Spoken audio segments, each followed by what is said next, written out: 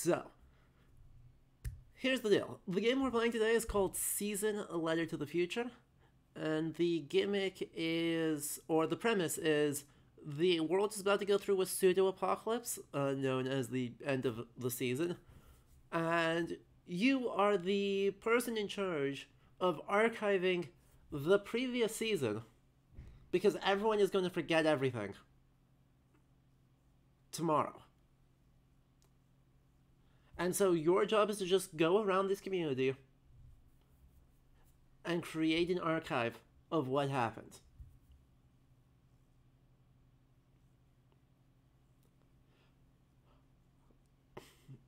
If you um, work in archives, have any training in archival sciences, like me, hello, um, you're either very excited or very concerned right now. Because basically, right, we are collecting, processing, and arranging the materials. And anything that goes through uh, in this evaluation and accessioning process, the choices we make are the only choices that matter. And the anonymous gifter, thank you for giving Ailey a tier 1 sub. Sounds stressful? This... I think this game is going to be super duper chill. Uh, once we boot it up, uh, you'll be able to see it, but honestly, right, this game I think is going to be super melancholy and super chill, and basically in every regard the exact opposite of Inkulinati, despite being a game that I am equally excited for. Truly the duality of video games. Uh, but, basically, I heard that this is coming out on... right, it came out Tuesday, the 31st. Uh, I heard about it on the Saturday beforehand. I saw one review, I looked at the website, and then I went on a media blackout. So I don't know what to expect. We are, I have no control over, or no knowledge of what decisions we're going to have to be making. And so we're just going to hang out. And to help us with this, we've got some documents. We have the Society of American Archivists value statement and code of ethics, because we don't want to be unethical while doing this.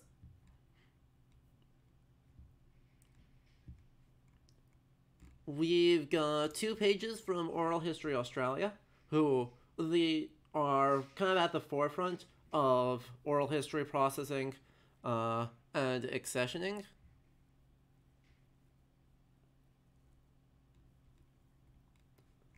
So, statements of a statement of value here, and a guidebook, some guidebooks on how to do these with a brief summary of best practices and then a much longer thing from the Oral History Association of the United States on how to develop an appraisal and accessioning plan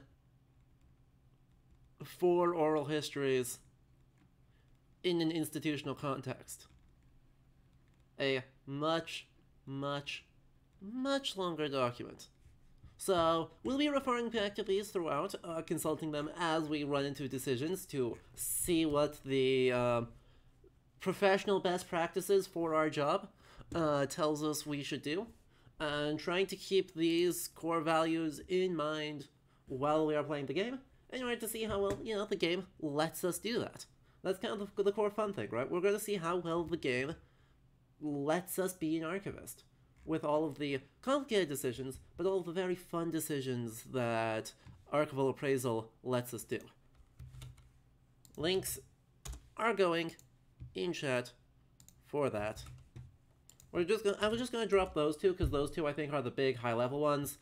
This this is a lot of scrolling, so we'll be looking through them as it becomes relevant. Uh, as questions come up, we may be referring back into this document. But yes. Now, what do you say we, you know, actually get into it. I'm so excited, y'all. Oh, this game's gonna be so good. Please.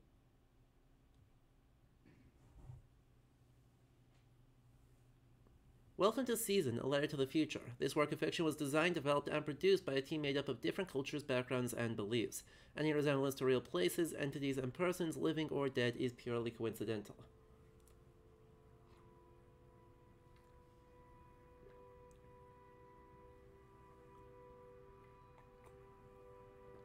And Leander, thank you for the 29 months of Prime. Stay as long as you want. Today's going to be super duper chill. Uh, but, you know, we're happy as always to have you around.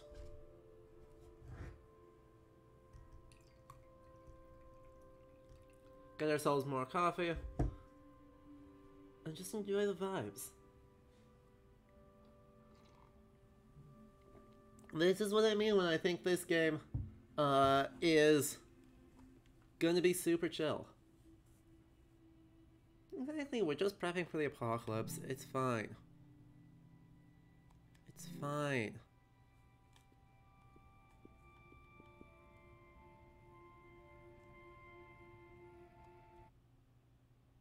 Let's do it.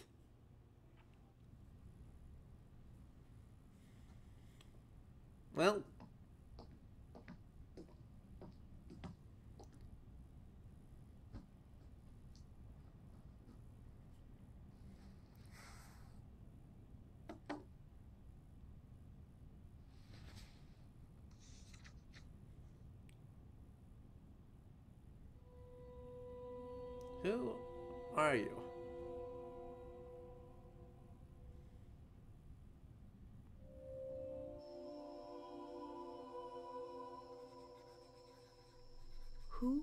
you?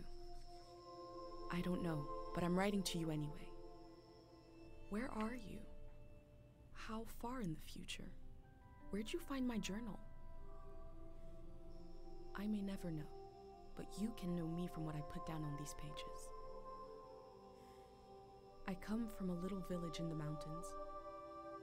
No one has left here since before I was born.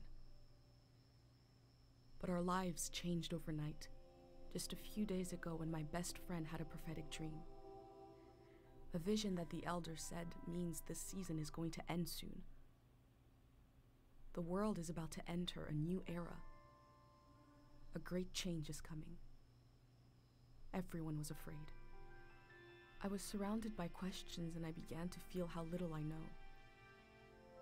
What is this season that is about to end, and why is it ending? Exactly is out there that could turn the world inside out?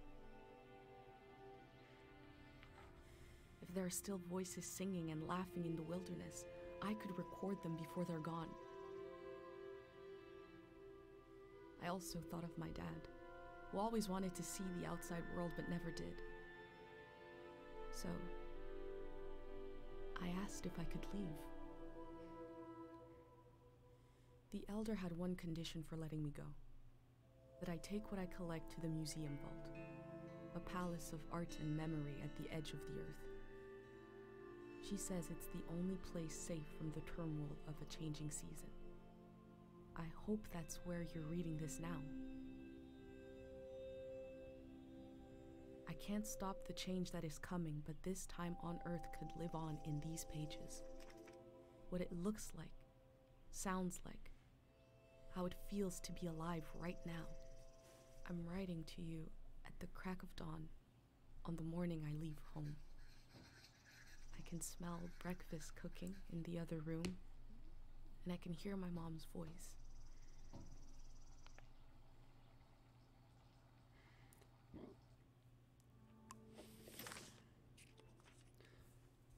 Amazing.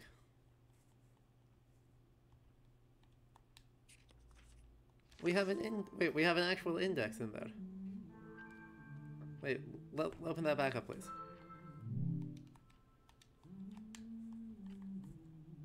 Yes, I know that that's moving. I want to open up the book again. Now. How do I how do I book?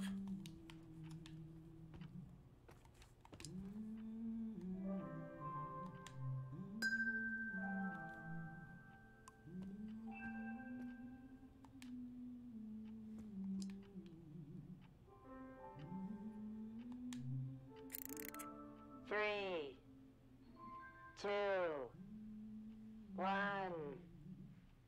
Hooray! Mr. Lotto's here. Aww. Aww.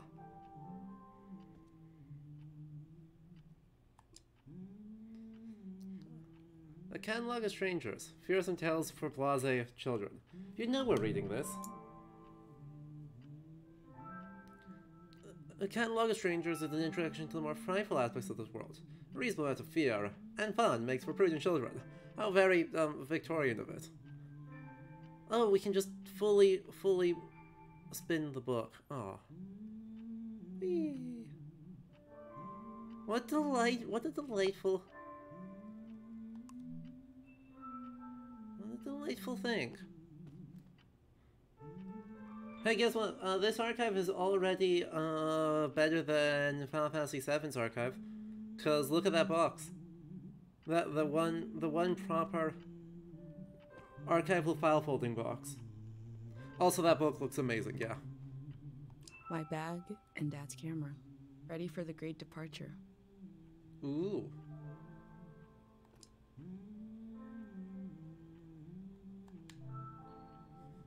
First place for what? Wandering Tale Festival 817.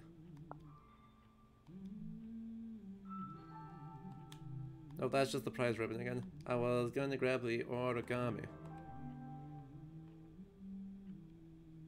Folded by Pate.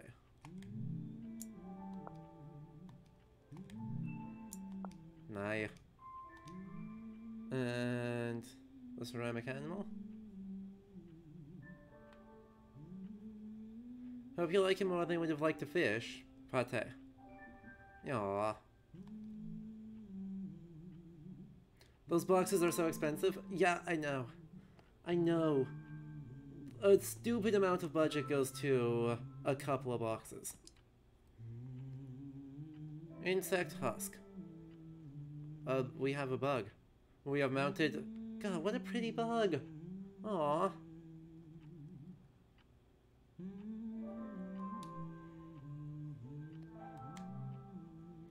Old bill?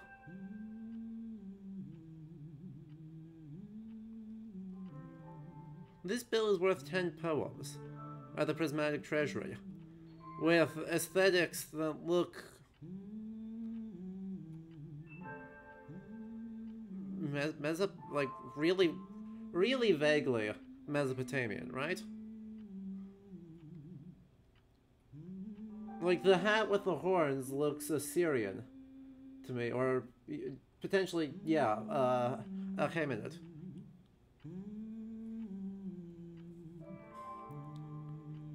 Interesting.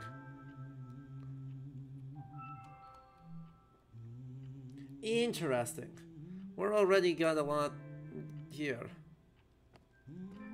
But man, the, the, just it's delightful. Oh.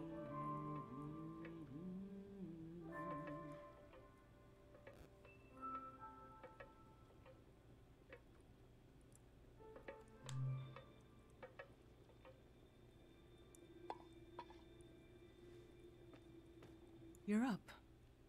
It's gonna be a beautiful morning. Aw. I'm making progress.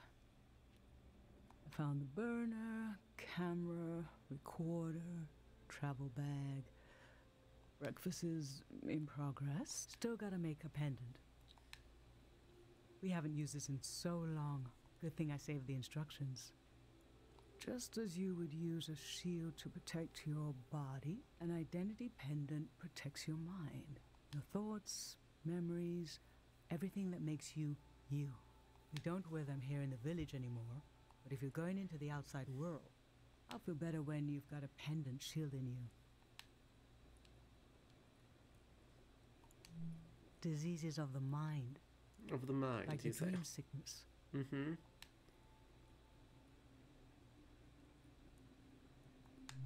It was Dr. Fumio's last invention.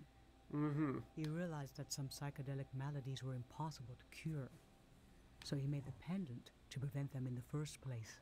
If you have a better idea how to protect your brain from being destroyed, let's hear it. That's Mhm. what I thought. I got no clue. war, I'm new here. a pendant can be used to identify a body. Yep. Let's skip that part. Objects have two layers the physical and the mental. Oh, interesting. We're already getting object agency The pendant needs to absorb both. 1. Collect a sentimental object for each sense sound, smell, feel, sight, taste. 2. Uh huh. Feel the sense and speak aloud a memory of the object. 3. Feed the object into the burner. Huh. The memory will leave the speaker as it is transferred to the pendant. That means I'll forget the memory after I say it. Huh. It's supposed to be painless. At least.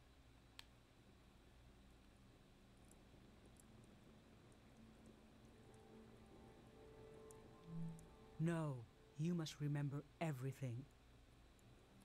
I must remember That's everything. Uh huh. The pendant needs this little sacrifice. I want to be sure it works. Don't be afraid. Aw. A few memories is a small price to pay for knowing you'll be safe. Okay, Aw. so. This old tape should work for our sense of sound.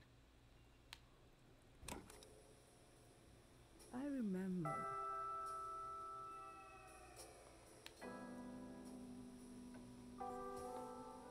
You and I fell asleep listening to this tape.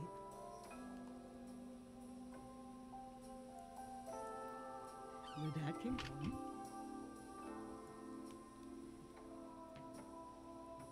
We all rested together until it got dark.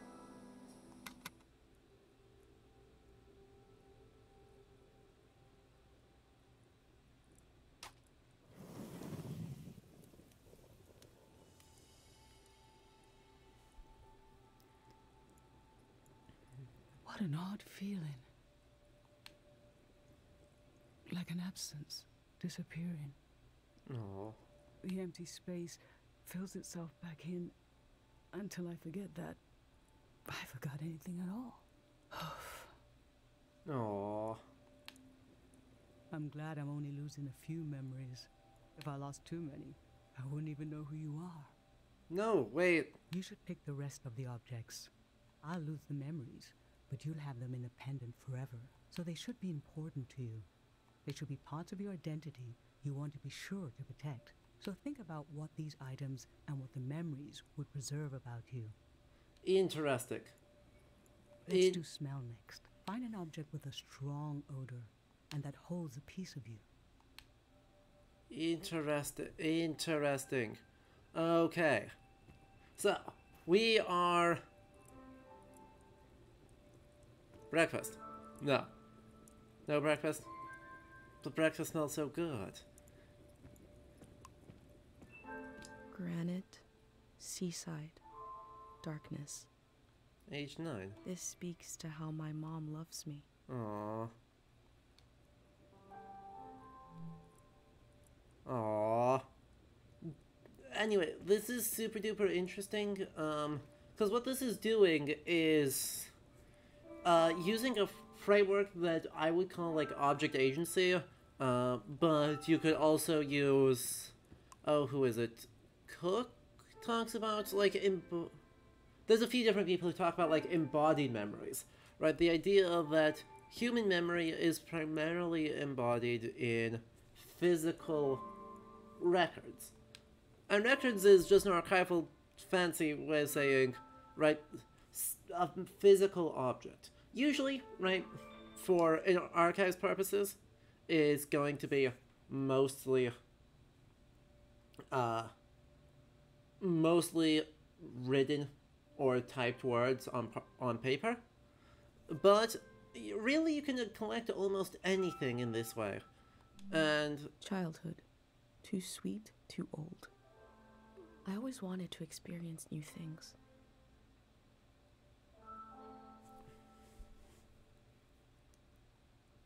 Amazing. Uh, so, right, it's exploring that through a super like fantasy heavy way, uh, where yeah, we destroy the object in order to preserve the memory. But really, when we say destroying the object, I want to turn that. Because instead of destroying it, what if we said donating it, right? We are removing the object from a context of lived use, right? A person, right? I don't know. This is hardly a deep example, but like my my very fancy, my very fancy uh, teapot was a gift from me uh, to my neighbors when I moved out here. I was like, okay, yeah, I'm reminded of them uh, every time I use the teapot. That memory, that use doesn't, um, or rather, that context of use goes away if I were to give this to a local history society. If for some reason this turned out to be significant, um, you, I could give this to a local history historical society, and they'd catalog it, and they'd probably do an interview with me about what it is, why it's significant, and all that information will be preserved. But not to me, right? The use that provokes the memory dies in the moment of donation. And so, right, there's a cool, really cool bit of archival philosophy happening in this very fancy lens, and it's like exaggerating it, right? The perfect memory in a perfectly portable form. But there is something really genuine there. Anyway, uh, I'm floating here on the ginger beer because it is good for body aches, congestion, blocked nasal cavities, hot ears, upside down stomach disorder, flights of fancy, dorsal inflammation, spastic melancholia, loud dreams, pond foot, wandering tingles, moonburn, and birthdays. Uh, no guarantee applies, nothing in life is ever guaranteed, really. Freaking phenomenal. A little bit of a hint of good old fashioned uh, late 19th century medicinal jars right there.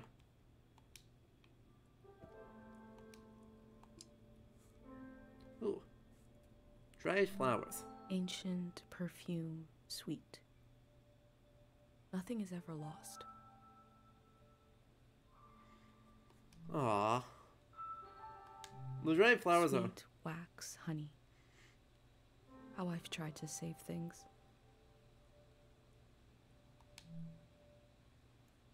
Interesting. I love how, as we're exploring this, Honey, wax, baby. we're, we're getting waves. these descriptive notes of I was scent. loved by people I have no memory of.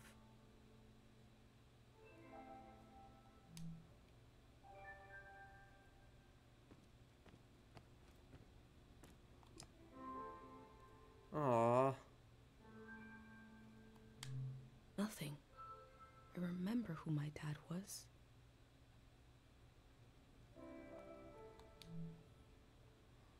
Aww. Nothing.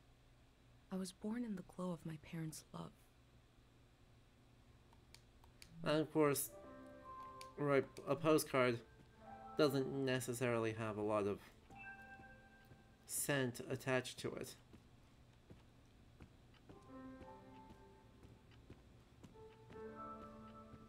Alright, I think. I think the candle.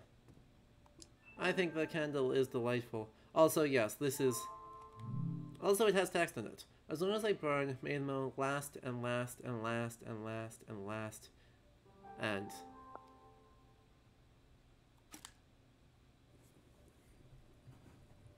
What did you choose for smell?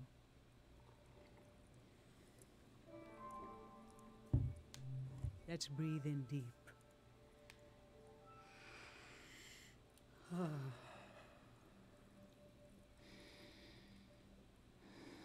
This kind of candle keeps someone alive for the time it takes to burn. Just a few hours when death is nearby. Oh. It can be enough for last rites, last words. Oh. This was Grandma's candle. She didn't want to use it. You spent a lot of time with her when you were a baby. No. I realized she wouldn't live long enough for you to remember her. Or for her to see you grow up and discover what kind of person you'd be. No. That, that does, however, explain why it has that very almost stereotypical like folk embroidery style to it So in a way, if it's associated with, with you grandmother. her, and she didn't know you, and yet she loved you. I don't know where love goes, but it belongs to you anyway.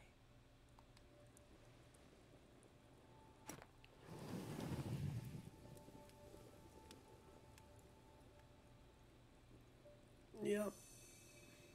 Now touch. Pick something with a texture you like. Uh huh. The lace. The lace up there looks delightful.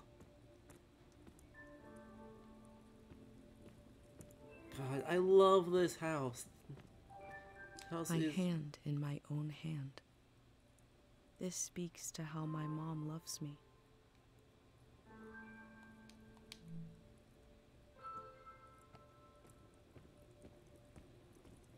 no. Also, something where I'm immediately seeing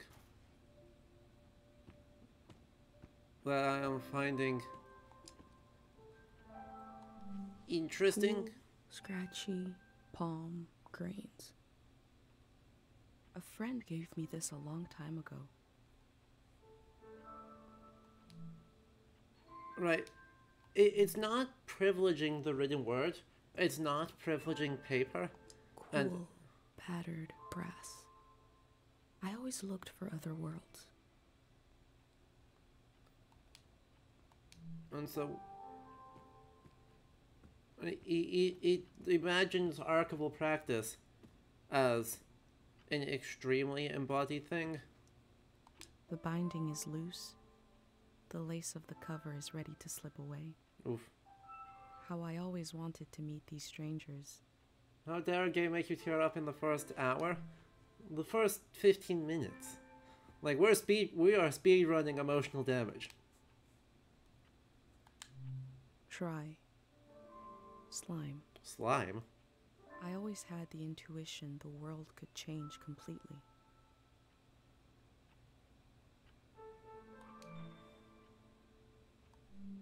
Aggressive, delicate, mineral. I look closely. Hey, mods. Thank you.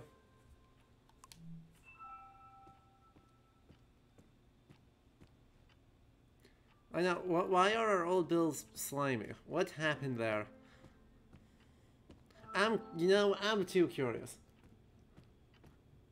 I am much too curious as to why there's slime on these bills.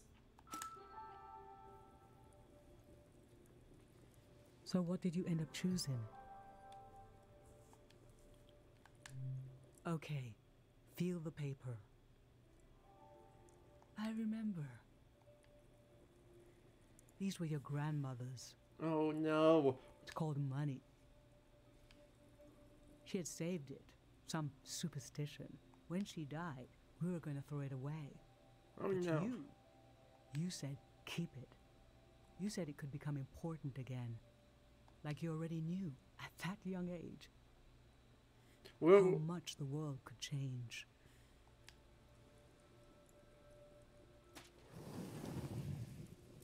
We have selected a lot of things associated with our grandmother. Is this a post-money world? Apparently. Oof.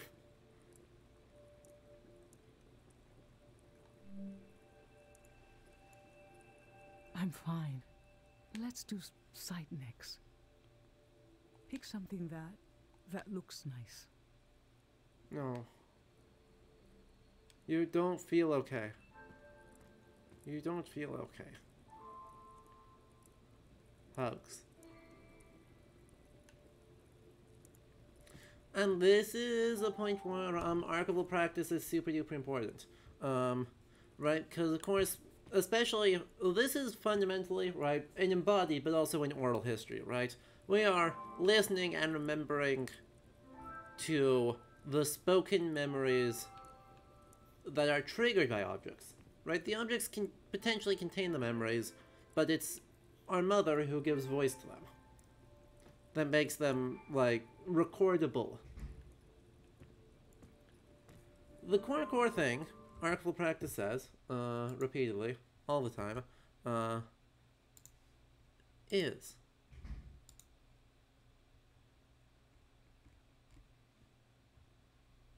Where is it? Do, do, do, do, do. There it is.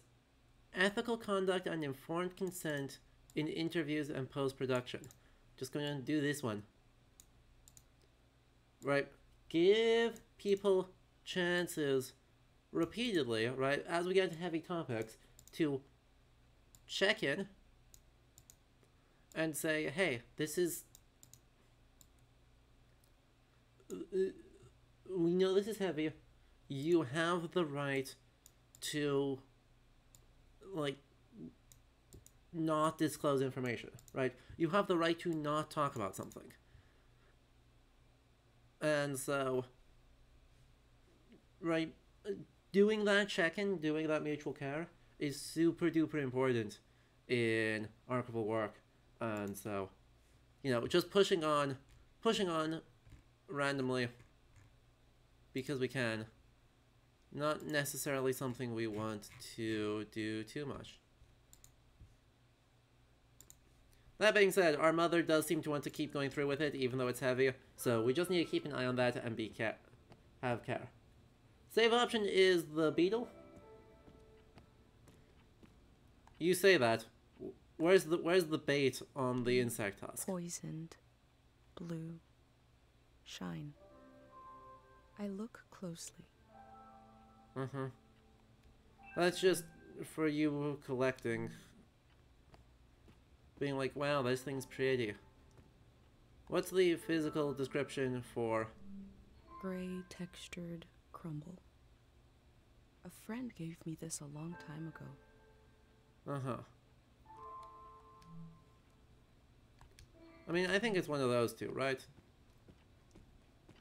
Or the book. The book looks nice too. Dignified ringer. I always looked for other worlds. It's interesting.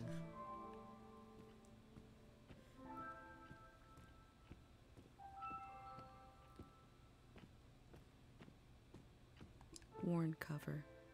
How I always wanted to meet these strangers. In the very style... There's a lot of good options. Chad, are we looking... Are we thinking the beetle? Like, I was going to go for the ceramic lion. But we can do the beetle. So, what did you end up choosing? When you were a little kid and I'd wash your pants, I'd check the pockets and find all kinds of little things you'd collected Aw. off the ground. Oh no. You, you say that, Dr. Shadow. Rocks, leaves, bits of string, and bugs. It happened less and less as you got older.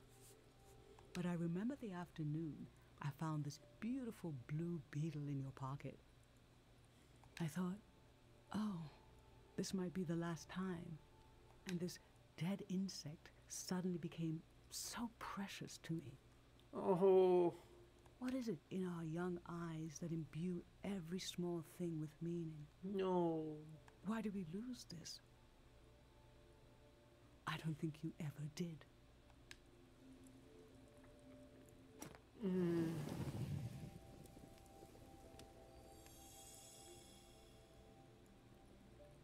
For taste, we can eat breakfast and feed some to the burner.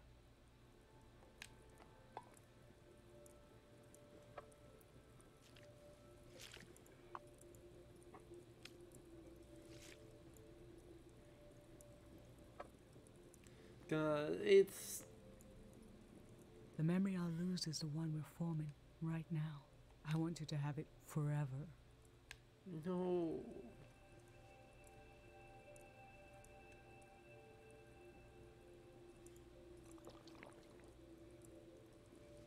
Standing here, you're having a last taste of home.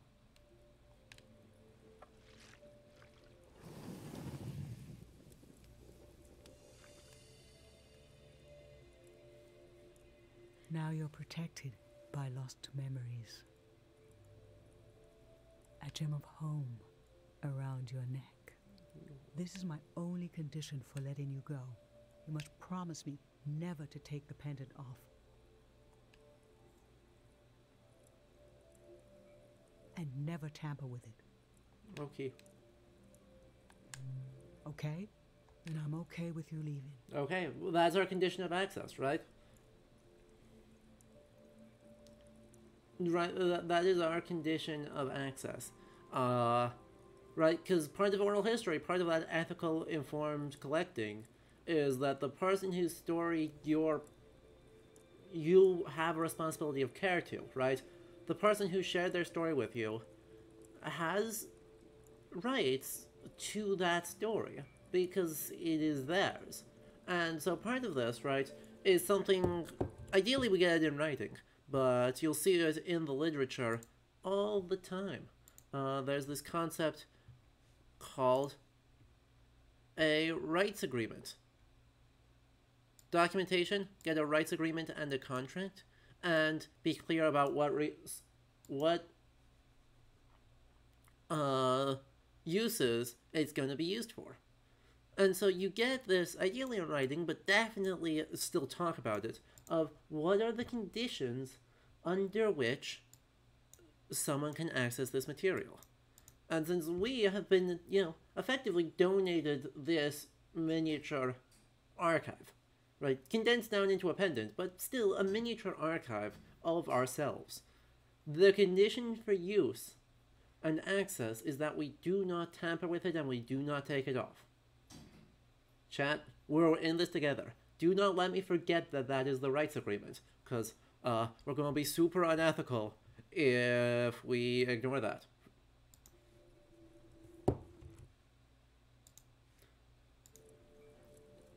I think your camera and bag are still in your room. It's time to gather them up.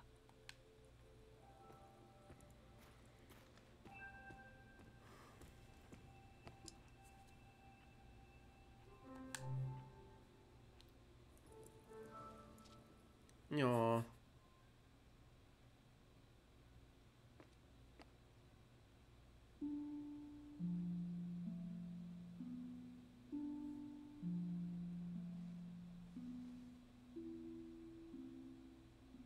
I've lost so much.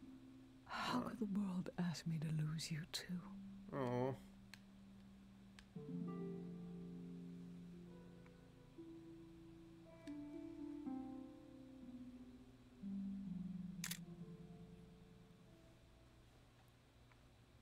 Should write down in a document? True.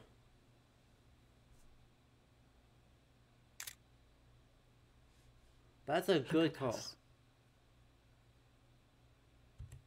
That is a good call.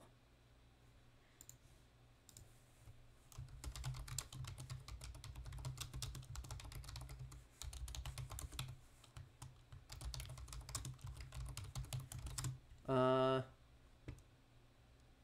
All right. Rights agreement. Rights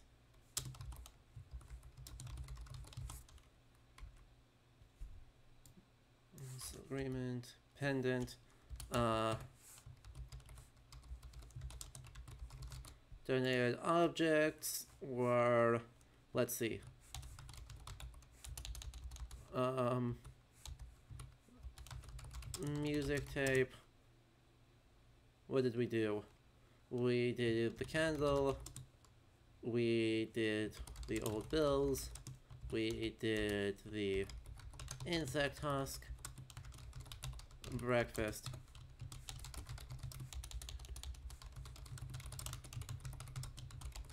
Access conditions, no removing or tampering with pendant.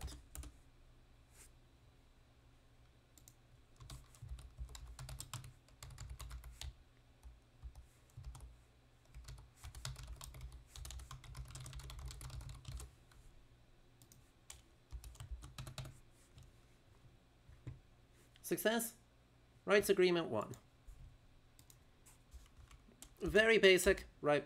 Incredibly basic. This metadata is extremely insufficient for any actual use, But for our own documentation, I think that's a good, good enough to get going.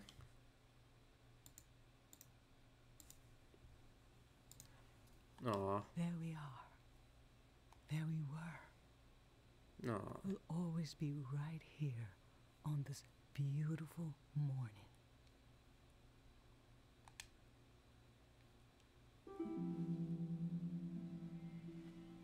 Yeah.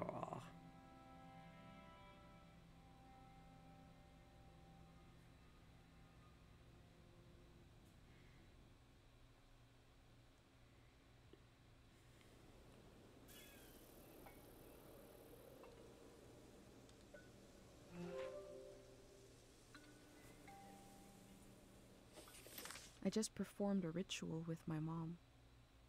The moment has passed, but I'll record it in these pages for you for the future.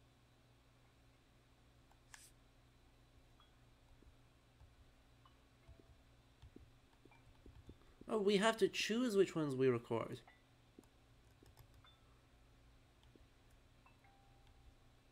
Oh. Oh.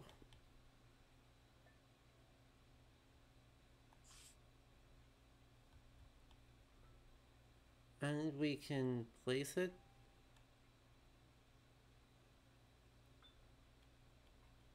So we sketch in.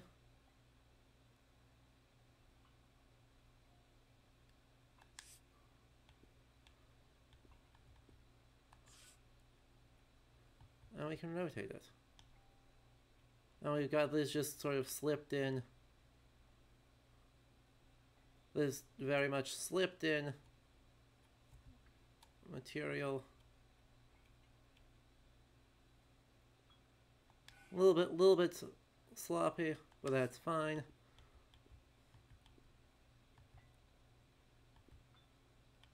I want to record the money up here. Oh.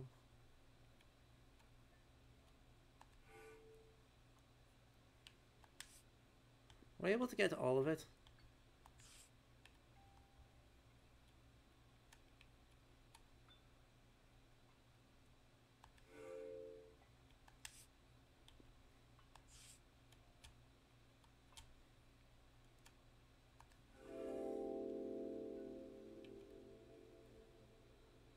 Never knew when my mom would share a memory of dad while cooking on a walk with no warning. It knocked the wind out of me. Rituals take this grief and give it a shape and a story. Filling in this journal is a ritual too, but for a loss that hasn't hit us yet. Aw. New stamps and conclusion unlocked. Interesting. Interesting, interesting, interesting. Chat, I'm worried that we'll be playing this game for a long, long time. Am I worried, I mean, uh, that's all your problem.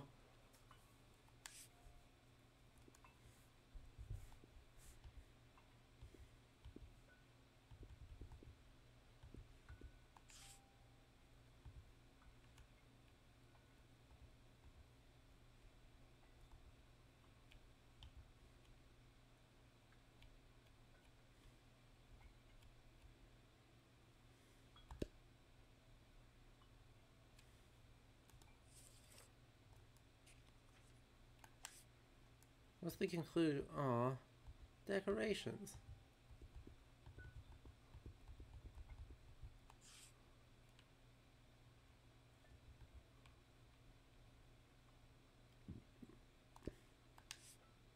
We're making it pretty, chat.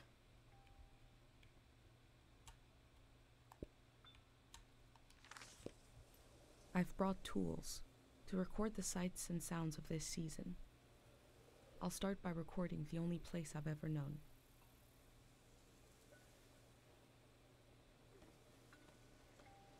Oh, it's so pretty. I know, right? Uh, I'm ado- I adore the sort of vague chronotype of this game, right? The implied time period, because obviously it's fictional. Obviously the dates are wrong, um, but like there's this implied pastness to it that's like different different from us at our desks reading the scrapbook that we are also making. But like we're using a Polaroid. And while Polaroids are coming back into vogue, realistically, that means this is what? The 90s?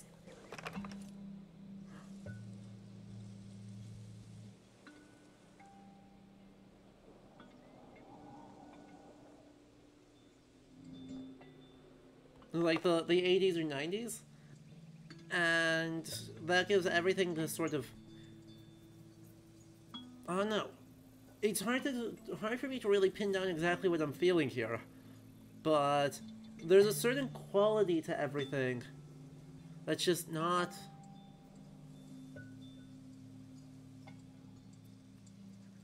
Are there wind chimes somewhere? I can't see them, but I can hear them. Um, anyway, right, there's a certain, like, aged quality of being in an old well, medieval town, realistically, right? These winding streets, this old-timey thing, 100% says medieval town to me. Uh, with the sort of worn-out pastels of the period, and so it's like not not far off of contemporary, but it's just old enough to sa- to feel like really out of time. Well, I could listen to the old fountain.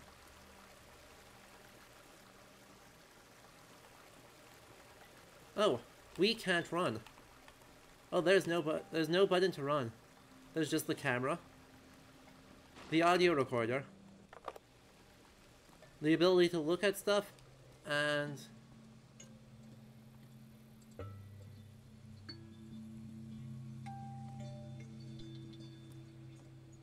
Right? I mean, are you...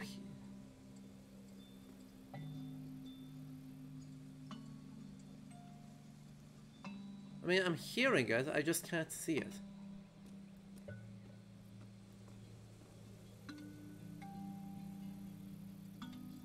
It sounds like it's coming from inside this window, TVH.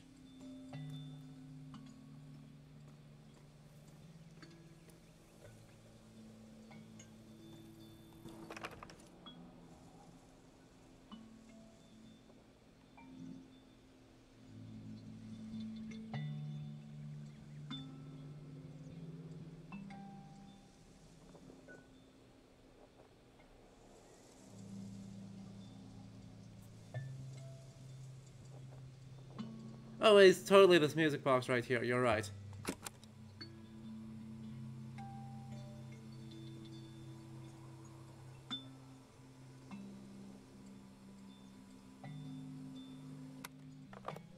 Public sleep music is a tradition of ours here. When the music ends, the village will begin to wake up.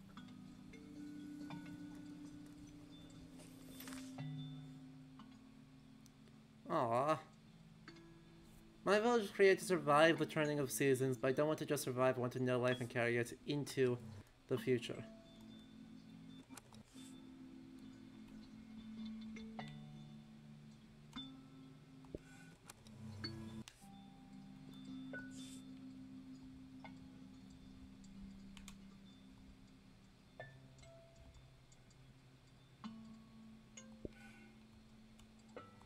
Oh good, we can edit it as we need to.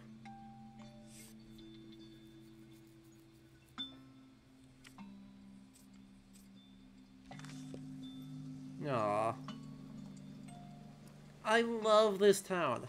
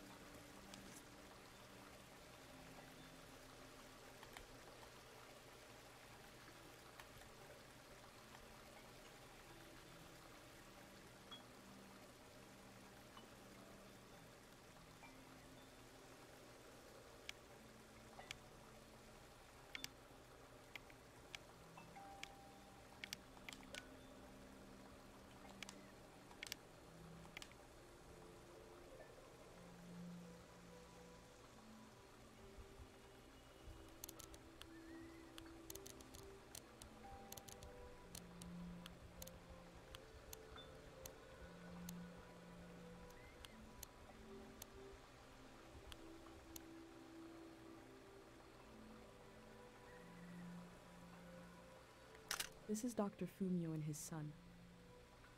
The statue isn't as old as it looks. The artist wore it down to give it a feeling of ancientness and the authority that comes with it. Chat. Yeah, the text is also part of the archiving quota. Exactly. God, like they're already doing something. We're not super rushed on space right now, but they are. I expect we will be really fast. Of the idea that we have a page, right? However much we record is fits in a page. One bifolio. And however much we record is however much we have. And so, you know, a very small scale of a very real problem. Uh, archives don't have enough space. It doesn't matter how big your archive is, it doesn't have enough space. It doesn't matter if you're only collecting digital stuff, you don't have enough space. None of the above. Uh, never ever ever will you be in an archive that has enough space for all the materials it wants to collect. And so, in appraisal, right, in the process of collecting material for an archive and making them accessible to the public, you have to be really strategic about what gets recorded and what gets left out. Uh, Ailey noted earlier, and my schooling agrees, um, 90% of records produced in a given year will not make it into an archive.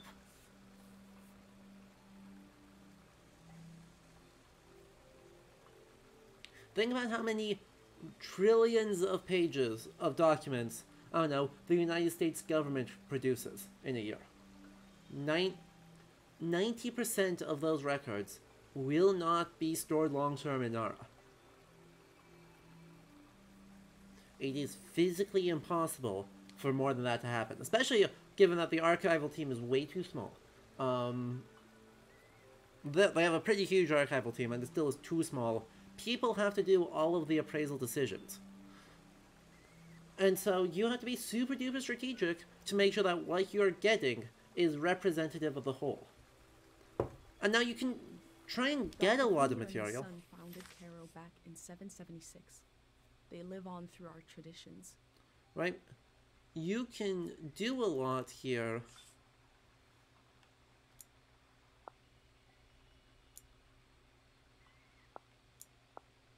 Interesting. So we have some things. There we go. Of like psychedelic melodies. There's an instrument, and then there's three other murals throughout town. There are three murals celebrating Dr. Fumio's work. Last night there was a goodbye party here in the plaza. Everyone was so afraid for me. To understand that fear, to understand where I grew up, you have to know the man standing watch over the plaza, Dr. Fumio. We might... We might try and get a better photograph here.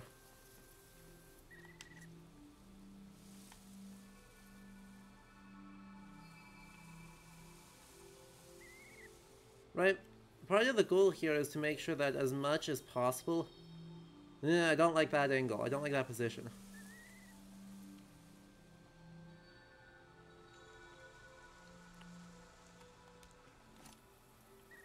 But like part of the goal, right, is to make sure that we take. Oh, we can jog. Thank goodness. We can slightly jog.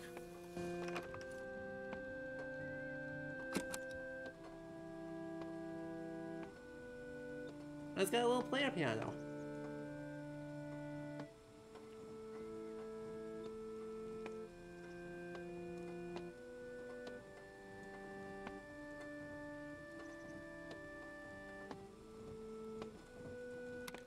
Is a healing instrument created by Dr. Fumio. It draws on the pure mountain air.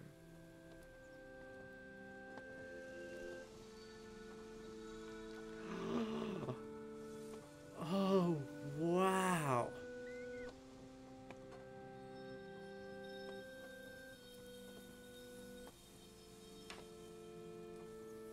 Exactly, Ailey, right? That is one of the goals. I mean, that's one of the goals I have here. Right, uh, is to be able to explore a little bit of this. And to tell, talk a little bit about what happens in archiving. What, what are some of these decisions like?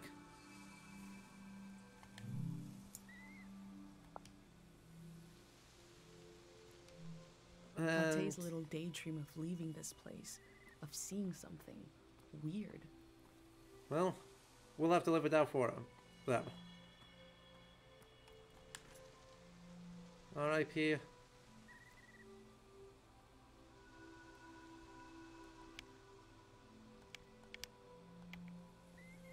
Ooh, that's another fun one. So, no filter.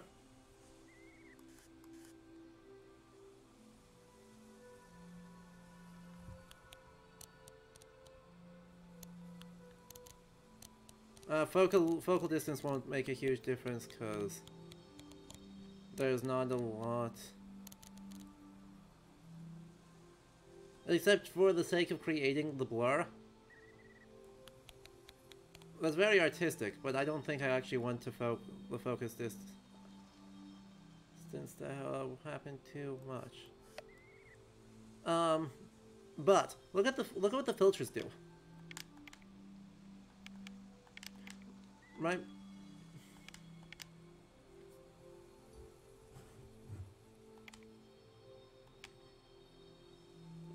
Fair warning, Dragon Wolf. Uh, I mean, totally fair. Please watch it from the beginning. But fair warning, emotional damage. Look look at the different qualities the different photos do. So one of my past jobs, Chad, uh, was working as a digitization photographer, working with clay tablets with Aramaic text written in them. And to do that, we actually ran it through five different photographs.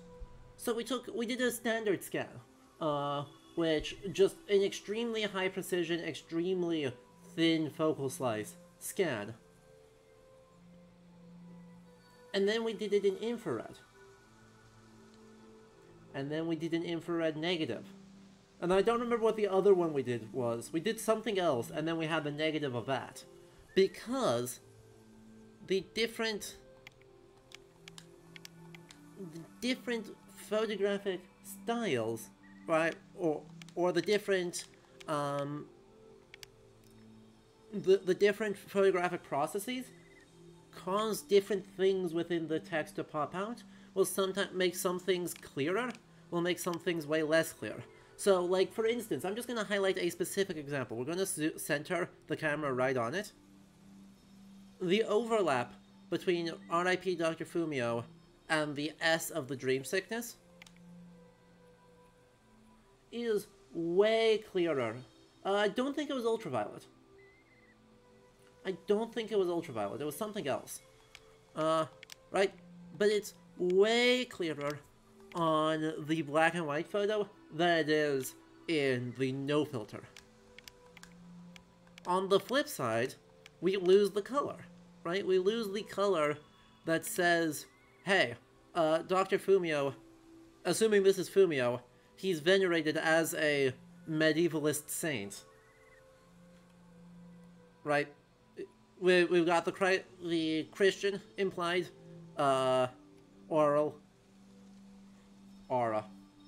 So, uh, the halo attached, we've got, in old-fashioned Iron Sickle, we've got the red of the hood and the tunic, and the hosen. And all that contrasts, right, with the... And also, right, there's a very clear difference between this color, this color, and this color. And the moment you hit that black and white, the difference between the halo, the grass, and the border gets completely eviscerated. So, black and white draws out this, but erases this. So, with modern tech, uh, black and white is also easier to store. Just by the way. Alright, Dr. Shadow. Take care. We'll see you we'll see you around. We'll be playing a lot of this game, so uh you know, stay tuned for when the next one's gonna be. Black and white requires less processing. It's easier for black and white to develop black and white films. Uh, black and white film is much more stable long term than color film. Uh, and you know, for decades, black and white was just what we had. It's just right. So, or sepia potentially. Um. Ooh, look at that difference. Look at this difference. Blue on pink. In color, that's super blatant. Black and white, basically indistinguishable. Sepia tone, way more distinguishable.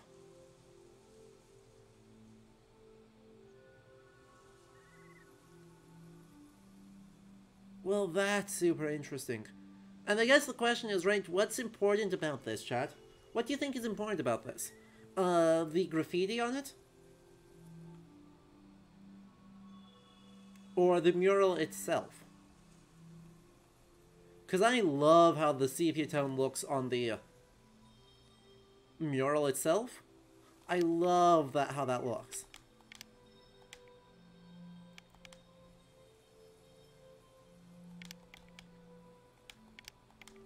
But if we are saying that what is important is uh, the graffiti, sepia tone is probably the worst, the worst thing.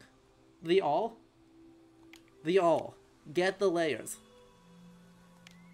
I mean, if we're trying to get the layers, then an, an unfiltered photo is almost certainly Dr. the best choice. said the dream sickness was caused by something very powerful. Damn it. He wasn't able to cure it.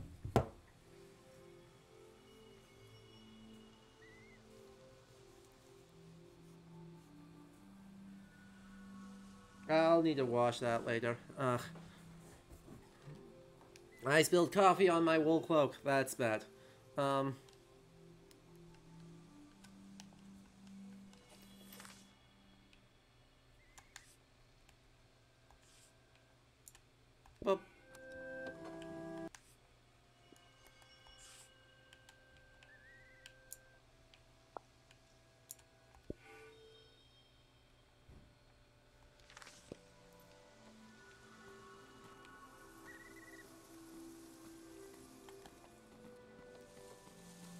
There's so much lore and you're living for it. True.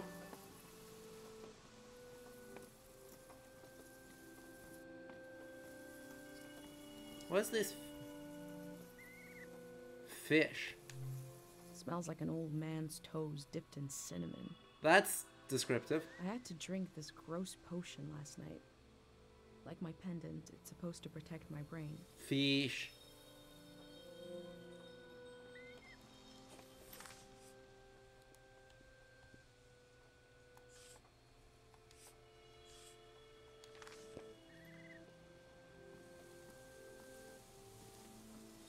I mean, uh, chat, you know me. I'm an absolute sucker for ritual objects. Right? Especially when we can get really good documentation that this just is a... That this is actually a ritual.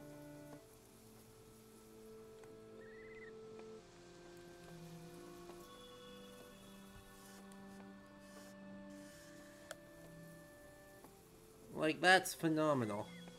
Uh, sadly, you know, there's a whole there's a whole standard of museum quality uh, digitization that we have. We're gonna take like 17 photographs, and we're just not gonna be able to really capture the dimensions of that object very well, or record the associated metadata to make that useful, a useful recording.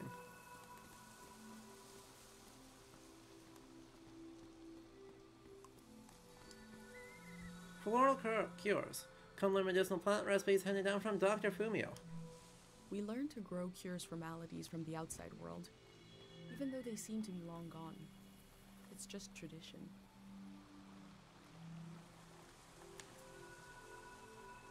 We mark the day Dr. Fumio cured memory excess.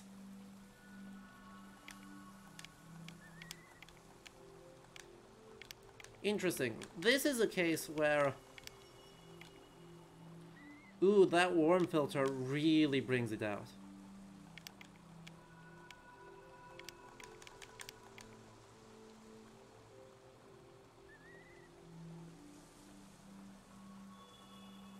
Now I want to make sure we get good focal length, capture the entirety of the mural and surrounding context.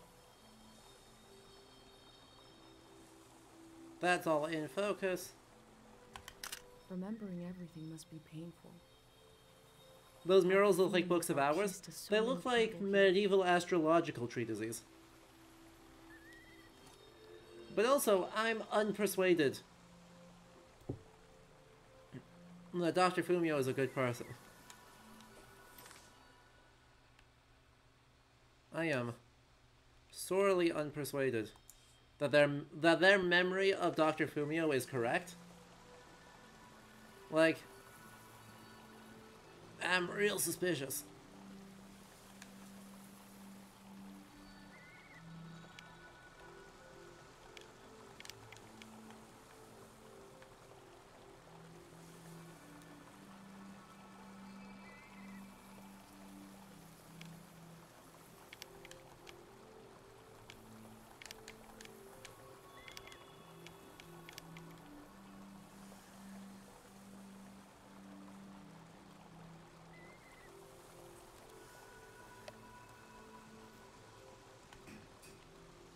Ah yes, for the sin of having too many memories.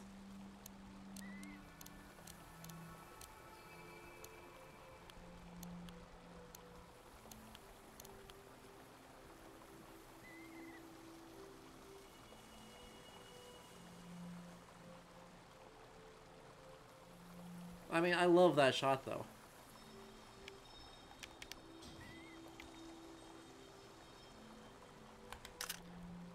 Even if I don't, even if I don't keep that photo, or even if I don't prefer that photo, I do quite like it.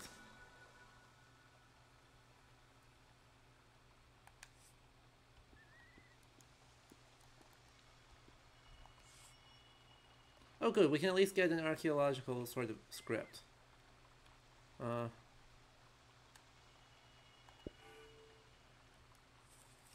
Now, I would love to actually instead go to... No?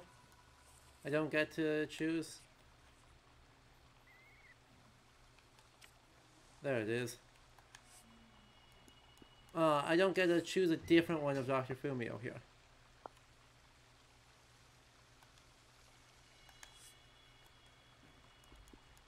Oh, tragic. I was gonna use a different one there to make that work. Tragic.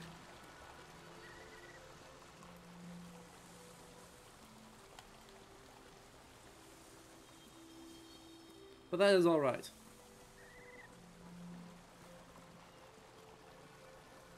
The difference between the connotations of the quill picture and the pastel earlier is quite interesting. True.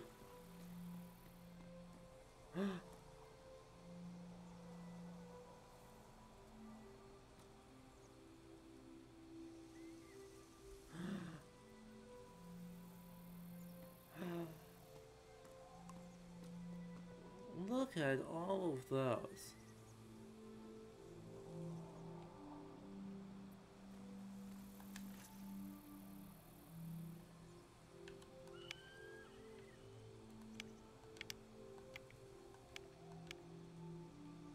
Ooh, there's vignetting on the warm filter. And on the high contrast. Ooh, it is... It, it- Right, by vignetting I mean, right, there's just a hint of a pinhole effect, where if you focus in on up here, it's brighter than if it's in the borders. And I do love that.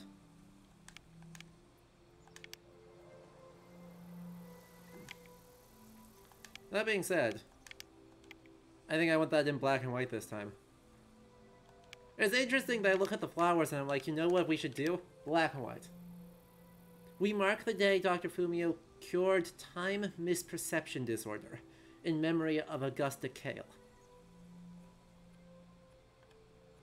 Who is Augusta? The elder sought out Dr. Fumio to cure Oh, the mother, elder. Uh, the elder's mother. Suffering from time misperception.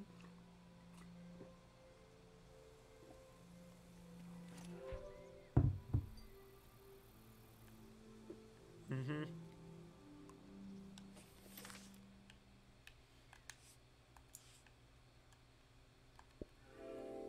God, there's look at how much different material there is. Dr. Fumio was an important person. Uh but We also just have a need to put a human face on events that are beyond our control. Yep. He may have felt just as scared and helpless as everyone else.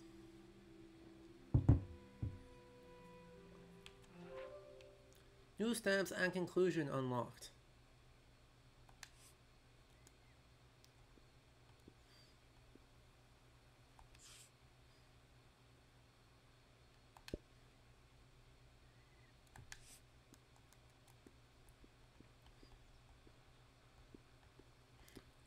Oh.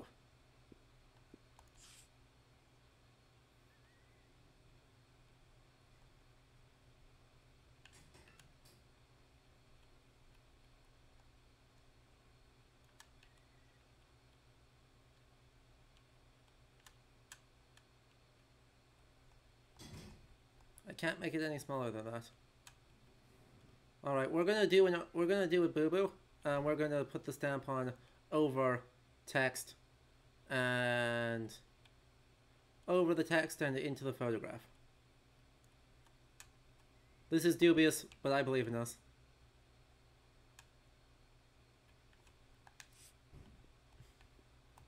Also, I love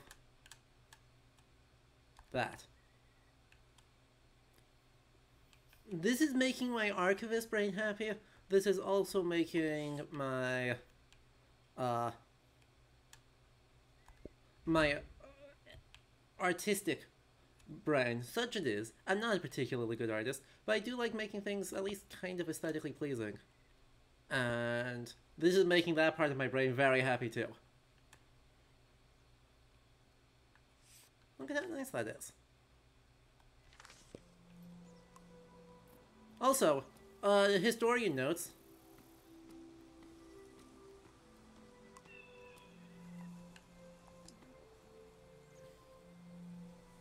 Extremely, right, clearly based on, uh, probably 8th and 9th century Buddhist texts in this mural versus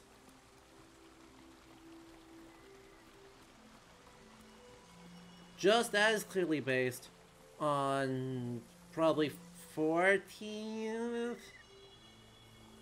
uh, 14th century European garments and like 14th or 15th century astrological treatises there versus over there even more clearly Euro medievalist. A wish fell off the tree. I'm not supposed to read them. But it might be good for you to have an example of one. Yeah. Grab it. Nope, I'm not I'm not reading it. I can go against tradition a little for posterity. I'm not reading it. I just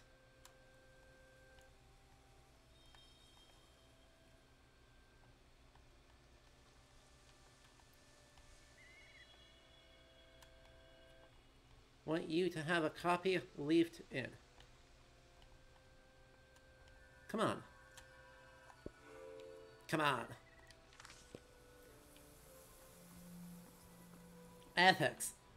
Ethical counterbalance. And guess what? There is no correct answer um, for a lot of the ethical quandaries, right? So, we look at that and we're like, mm, well, we're not supposed to read these. Right? It is against the tradition to have the person collect these for read them. At the same time, uh, right, it is important to keep examples of them because that's part of the uh, cultural traditions and the intangible, the sort of mixed tangible and intangible cultural heritage of this community, and recording that and preserving that is important. And it's a specifically it's an ethical it's an ethical issue specifically because the archivist is also the person the ritual is targeted at. Right? Presumably, other people in the community are able to see these and read them. It's just not the person that they are about needs to. And so, there's like this specific thing. Chat, my recommendation is in the VOD, there was a moment I zoomed in far enough for you to be able to clearly make it out. I, the collector, archivist, am not supposed to read those. Those are not meant for me. If you want to go back and read that, I would say, you, the user, it is absolutely meant for you. It is not about... Right? It's not about you. And so you can go back and read it all you want.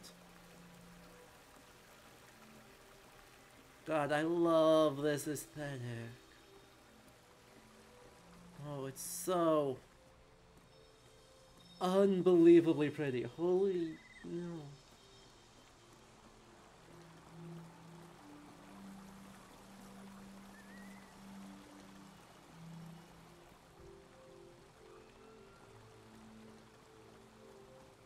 And being an old an old medieval city, right? I'm sorry, there's so many places. I've been to places in France, in France, that look exactly like this town. Uh, I mean, like, a town like Mont Saint Michel is the obvious example, but I actually got a plate I want to show you guys. Speaking of embodied objects, let me grab a plate that uh, I want to show y'all.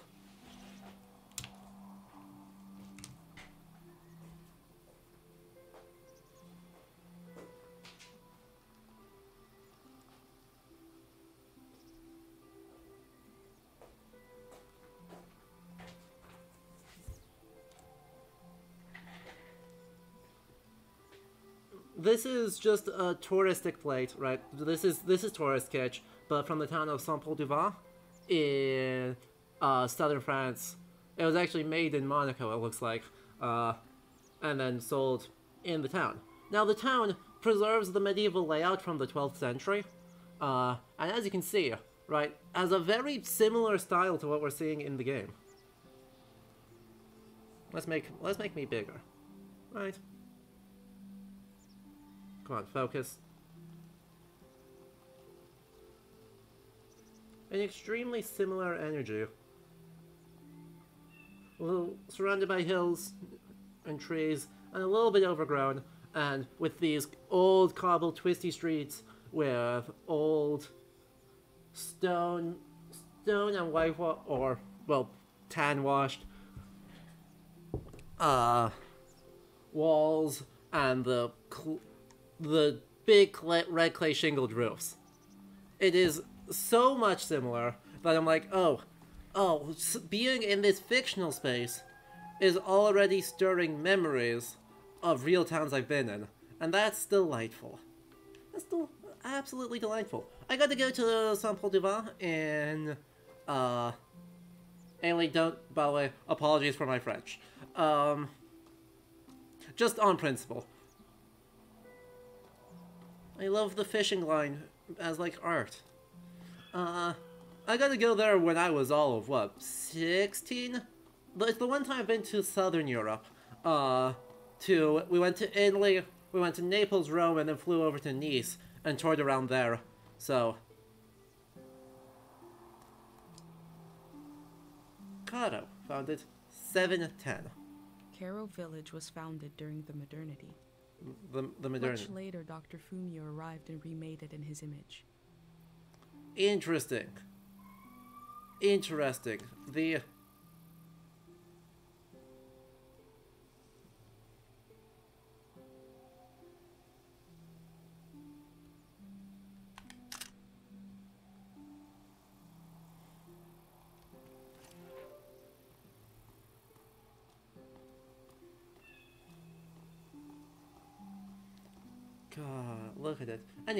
right, I gotta go there when I was like...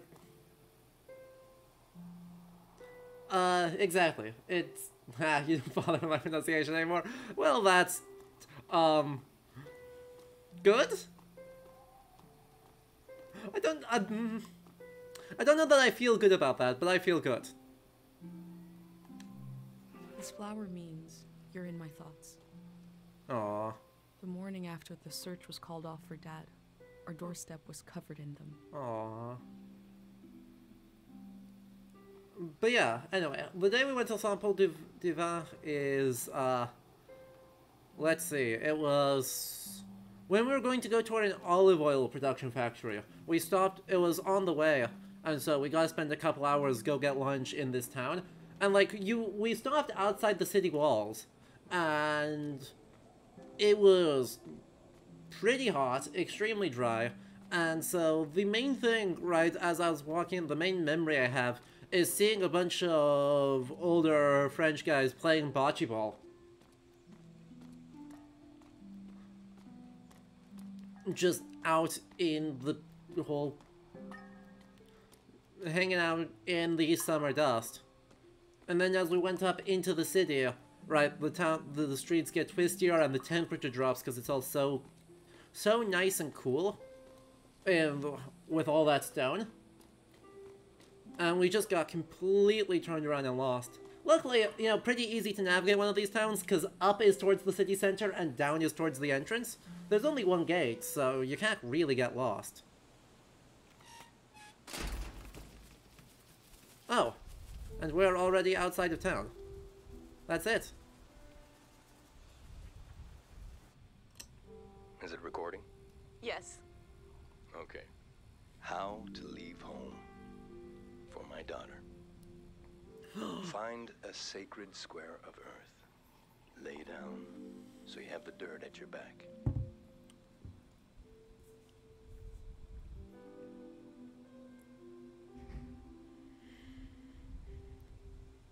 Close your eyes.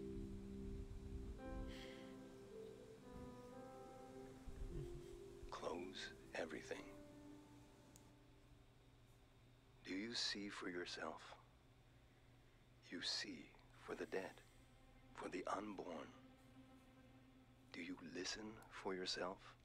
You listen for the dead, for the unborn. Your ancestors are in that dirt.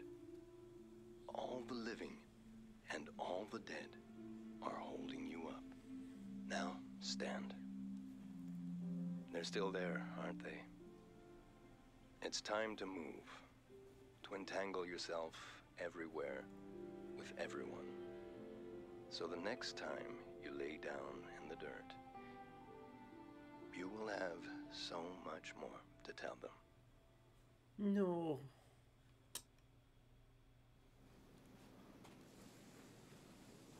Oh, incredible.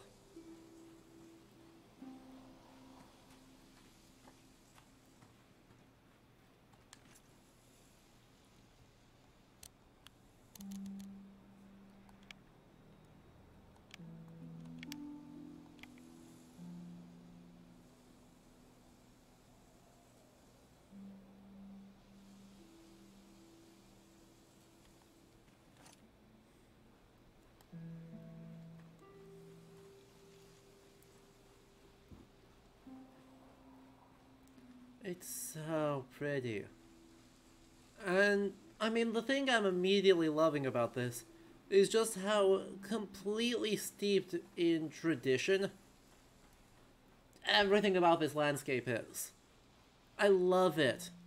And I love, uh, the thing I love even more is that while we, the player, are not a community member in this world, we, the character, are. And so, right, at this point it's worth talking about like different types of archives and what kind of archival work we're doing. Because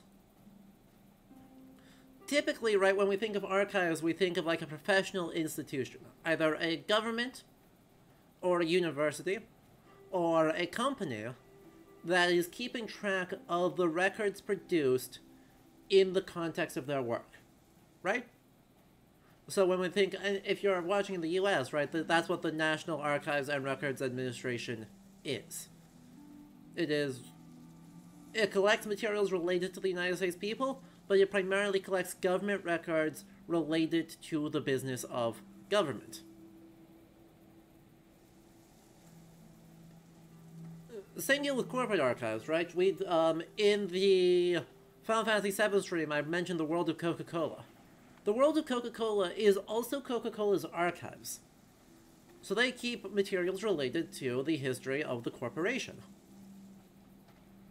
Uh, but what we are uh, is we are a community archivist, right? We are a member of a community collecting the materials related to that community. Admittedly, right, we're a bit weird because we are from one part of a community collecting for a much larger group. So we walk kind of a weird line in there.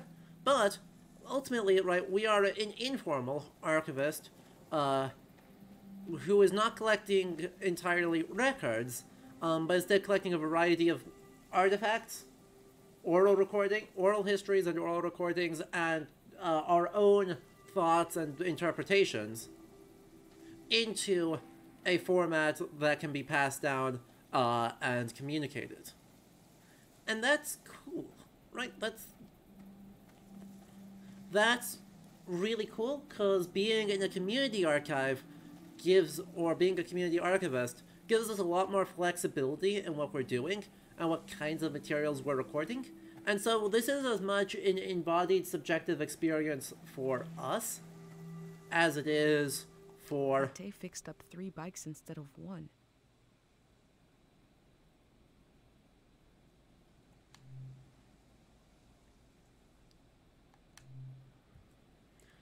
Uh, right gives us a lot more flexibility in how we record and creates us uh, this thing that's simultaneously embodied for us and uh, in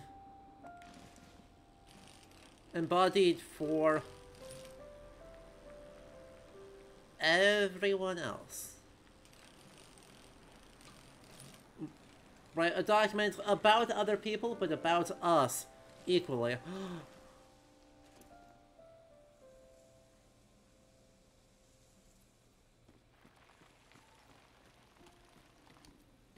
Oh good, it just kinda stays.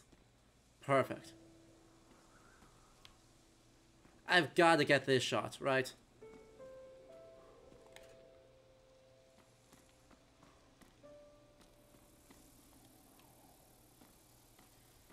I'm sorry, landscape photography is also my jam. I'm not sorry. What are, what are they talking about?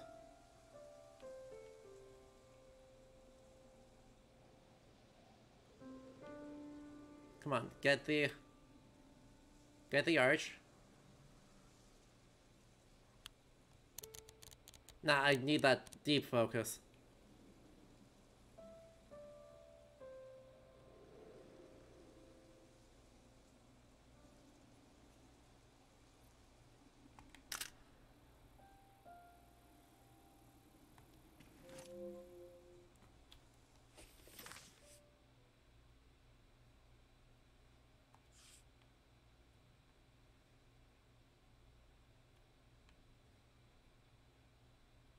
For the moment, let's make this bigger.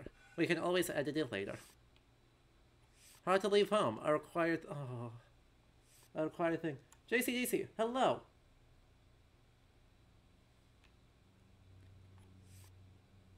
If it's not clear, I am already absolutely in love with this.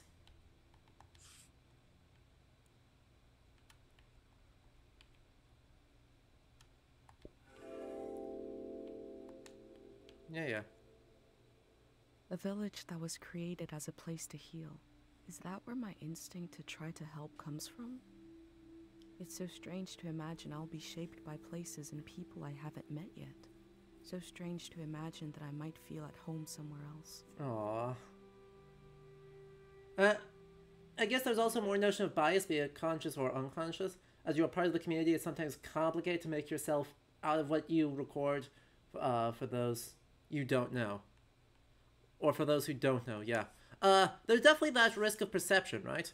Uh, where there might be a complicated perception. Um, nah, we don't need... Flowers are dangerous. Uh, flowers are extremely dangerous. Ooh, we could do a stamp instead. Ooh, we could do a stamp instead of the town thing. Oh, but we're locked in. Oh. We can only edit it up until the moment where... Let me... Can I edit it? There we go.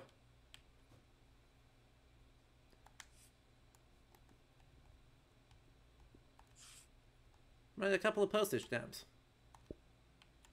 Postage stamps are great archival material. I love them. They're another thing that's got a lot of personal personal resonance for me.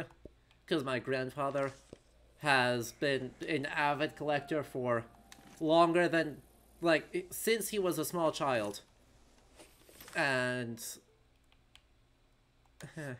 well,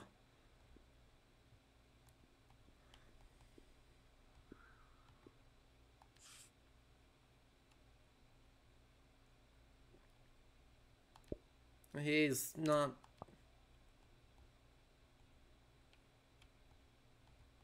He, he's been sick for a long time now, and so... Well, uh, having those memories is nice.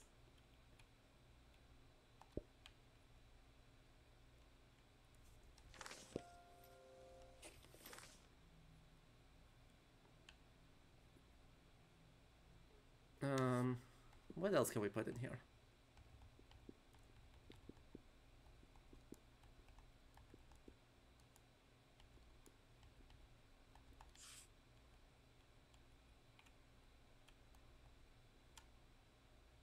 Can I put the text of the flower in the book? We could, uh...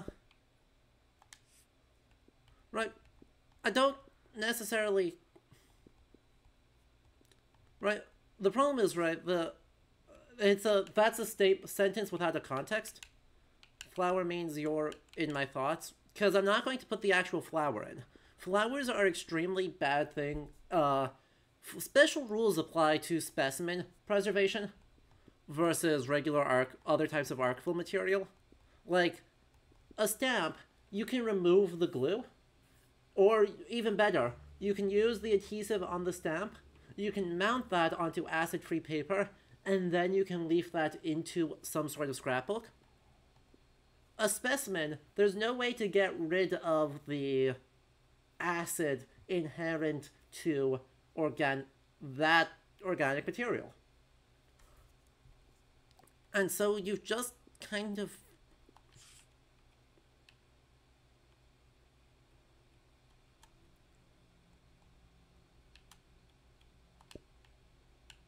uh have this difficulty.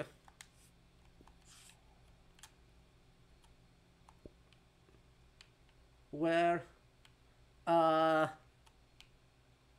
you, you you've got this huge difficulty where if you put it in with other types of material, we're going to absolutely get into trouble. Because it's going to cause damage and degradation to the rest of the archival material. That being said, there are there are ways to care for specimens specifically, right? You can mount them, uh, you can mount them if you need to uh, preserve them in alcohol or formaldehyde, you can do that, but that's mostly for less for herbaria and mostly for uh, like animal specimens. And there's just other stuff you can do to them that's pretty helpful. Uh, please.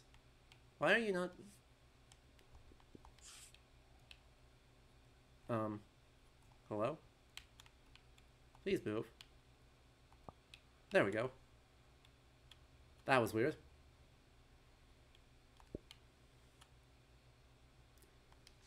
Will the notebook be graded at the end of the game? Well, yes and no, JCDC. I don't know for sure. I don't know exactly how they're evaluating it.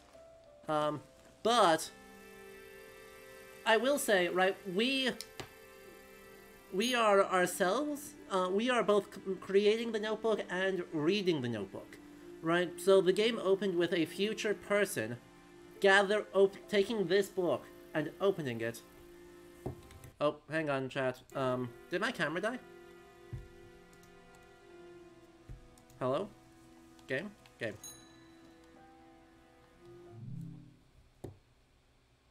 Okay, my camera just lagged out.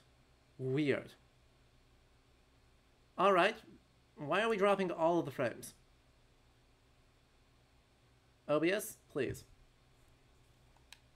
Chat, let me know if there's a problem, if you're seeing an issue uh, with my camera lagging out, because I am seeing the camera looking really rough, uh, but the gameplay is looking fine.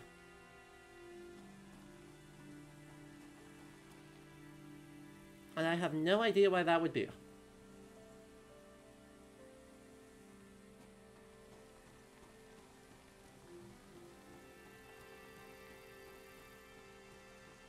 Hmm. Spooky. God, this whole environment is so pretty.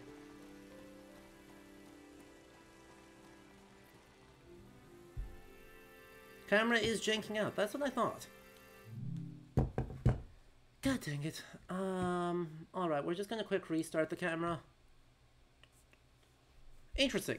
It's only when the game's running. So the camera is janking out when the game is running, and then the moment it pauses, it stops. Oh, so helpful. I'm so grateful to it. That makes it so easy to fix.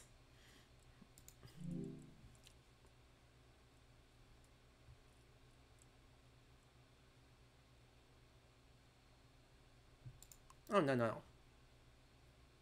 We are definitely turning off Simplify Pedaling.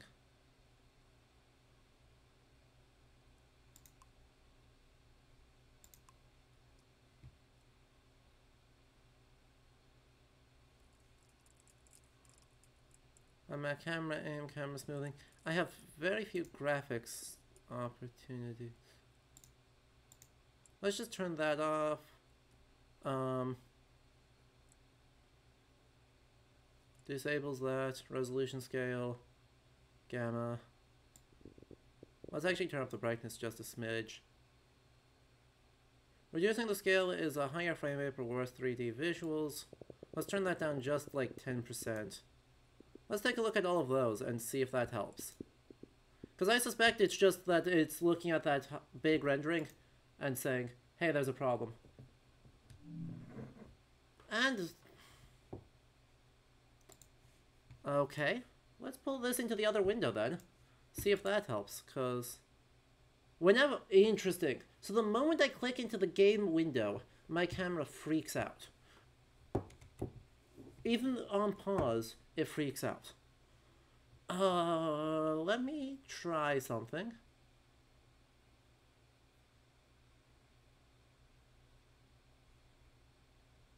Let's try switching over to the uh, to the built-in camera, and we'll see if that helps. See if that one's more stable. Because if my external camera is doing that, that's an issue. Uh, let's see.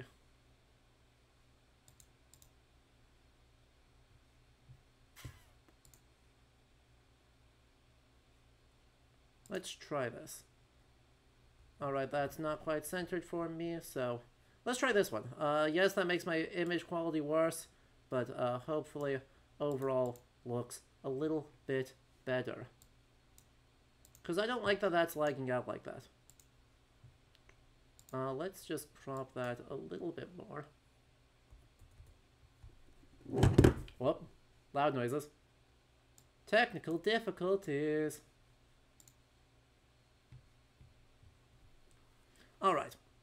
Let's try this again. How's that looking? We looking good?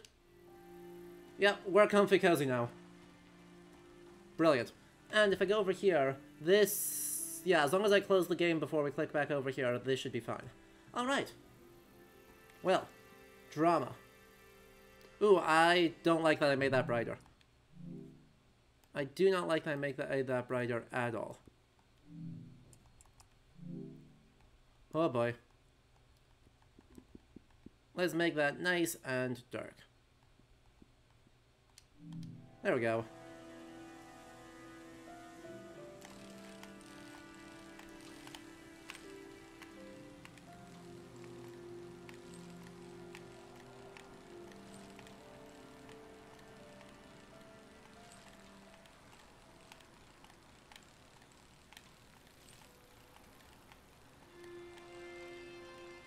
That is incredibly soothing.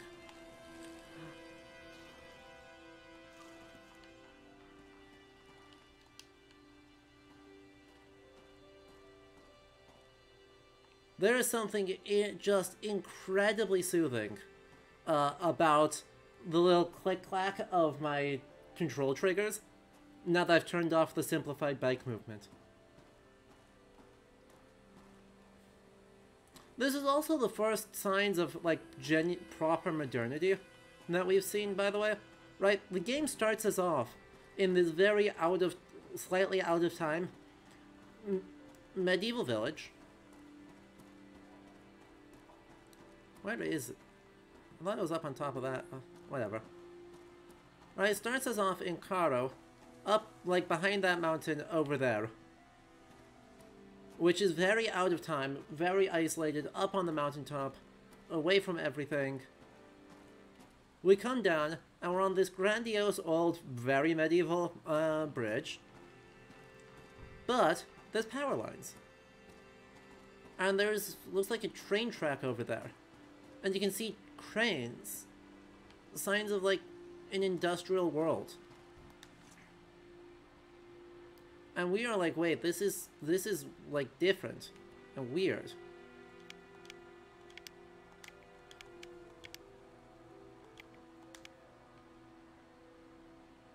And we can make this feel extremely out of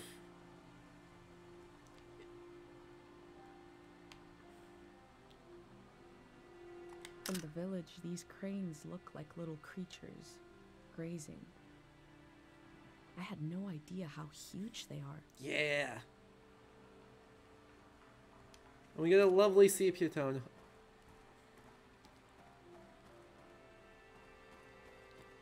God. I mean, and it's all, it's not actively cared for. I mean, look, this this bit here is completely overgrown, which suggests that the power lines are not necessarily being actively looked after. Same for actually a lot of this. There's a lot here that's kind of not been super well cared for. Whee!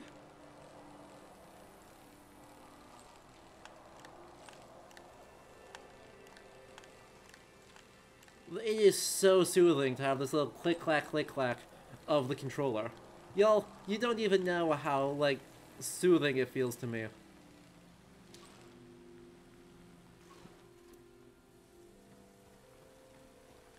Down here. We have a wooden cart, not a car, and a train track.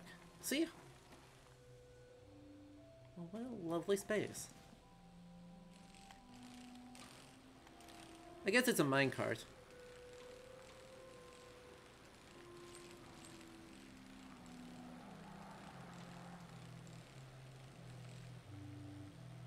Oh. Oh yeah. Oh yeah, that that's the dream right there, chat. Oh yeah. That's a lot. 10 out of 10.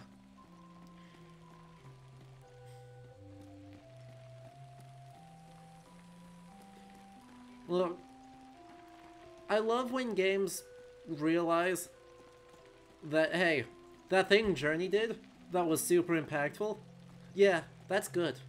We should we should make moments like that to introduce us to a new space. Big fan.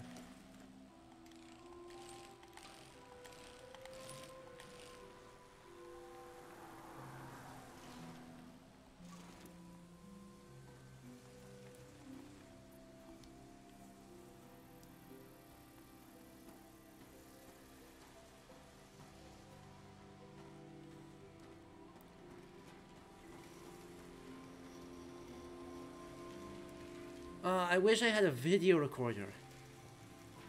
I would literally just get a video recorder of this.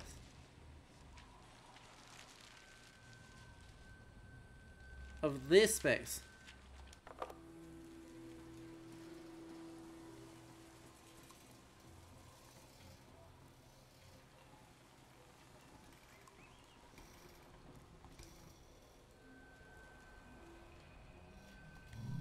I Assume the sender address 479 Silent Arrow Drive. Receiver address The Wandering Forest.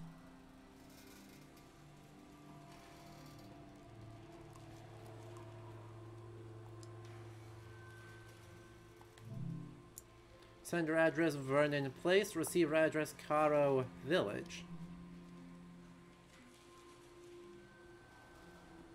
So this looks like it was a post-sorting facility. Year 704. Oh. Number 0215. Import, export. Fabric, 5 rolls. Herbal tea, 20 cans. 10 roots. 1 box dry flowers. Seeds, 1 bag. The traders are cut off. Kara was going to feel even... We're taking this. Yoink! Traders used to come to the outskirts of the village. The war put an end to this.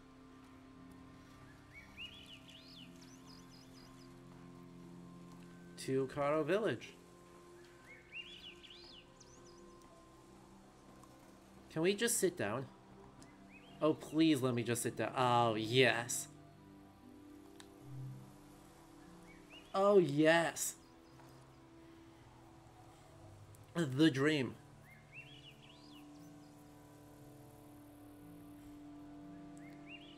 What an incredible environment.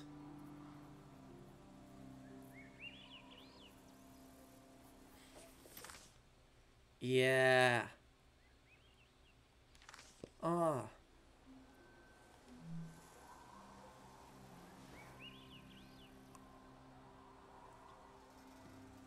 So, chat.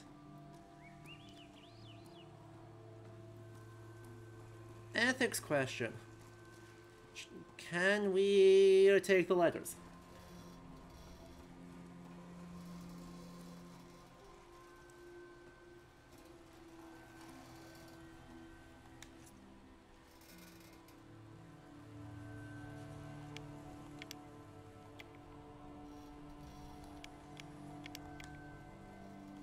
That warm filter is so good.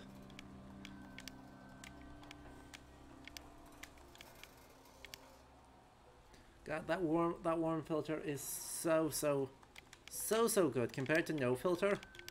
Just that extra that extra vibrancy to it. Really brings out those color the color in the box really well.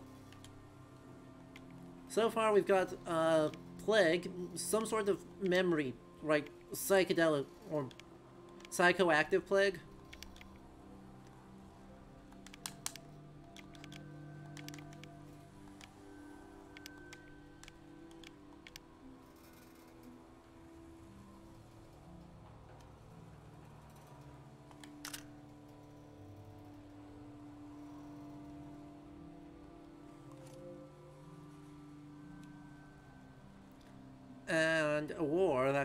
To the village. And if there's no chance of the facility delivering or returning them, you would argue we are obligated to. Well, why don't we take a look over in our uh, ethics guides. By the way, uh, murals of Doctor Who's its face. Um, Fuzio? Hero plus for this lovely out of time stuff. Um, public monumental monumental no access restrictions. Um, I need to remember that we need to be recording recording our decisions here. Um, let's see, wish ribbon. The wish ribbon, uh, traditional farewell ritual viewer or recipient of wishes cannot read access restrictions. Anyone except the intended recipient. Um letters uh, abandoned destined for abandoned possibly very old right let's assume chat I think this is a dubious assumption but let's assume it possibly greater than 100 years. The date on the inventory we found in the postage facility uh, is from 704. Let's actually click back into the game and verify that, right? Uh, back into the game.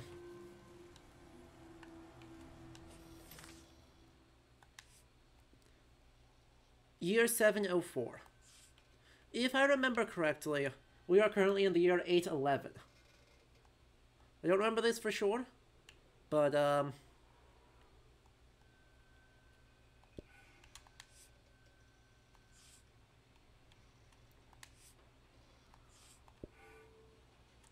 It's an important thing. Uh, has the protagonist def defined that they want to store the knowledge for the future? Yes.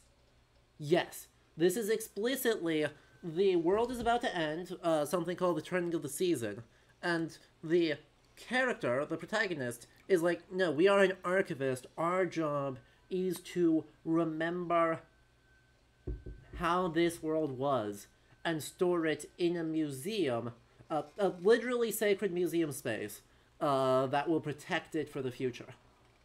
So yes, that is explicitly our objective, both as the player and as the player character.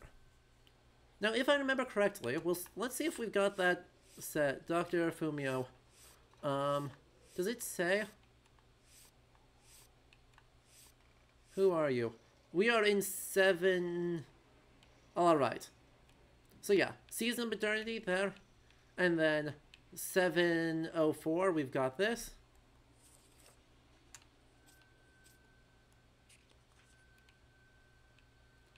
The, the this thing lands here.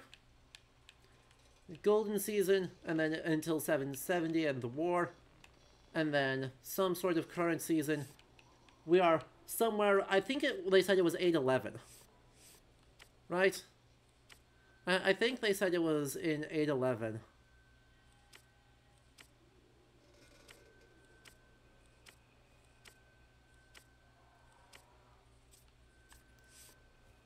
And so, if the the letters are somewhere between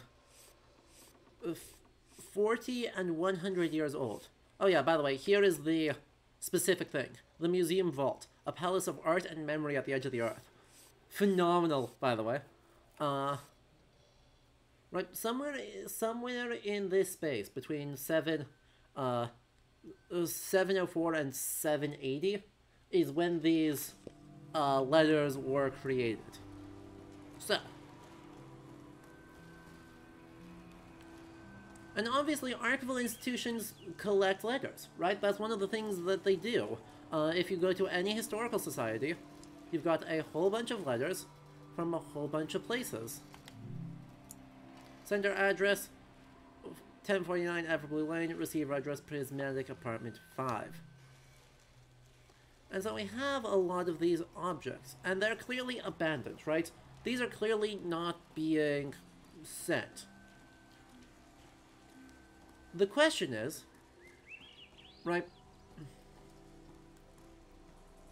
is it ethical for us to collect private correspondence from people we do not know that were not um, that did not consent to having their letters passed down into posterity and whose significance we do not know. Right? Well, let's see if our code of ethics gives us any guidance here. Yeah? Society of American Archivists. So, Expand access and use, that's not super relevant. Actively contribute ideas and resources, don't know. Collaborative opportunities, we don't know. What are these professional standards? Uh, that's potentially mitigating harm, sounds about right. Um, creating collections that respect the diversity found in humanity, potentially useful. Uh, alright. Identifying and preserving essential records. Organize and maintain the documentary record of institutions, groups, communities, and individuals. Well, these ledgers are definitely part of that. Serving a broad range of people, okay. Accountability. Help maintain documentary evidence of actions, uh, societal experiences, functions, activities, and decision making. Diversity. Diversity, diversity, history and memory, preservation. Preserving materials is a means to an end of use, okay. Um, code of ethics.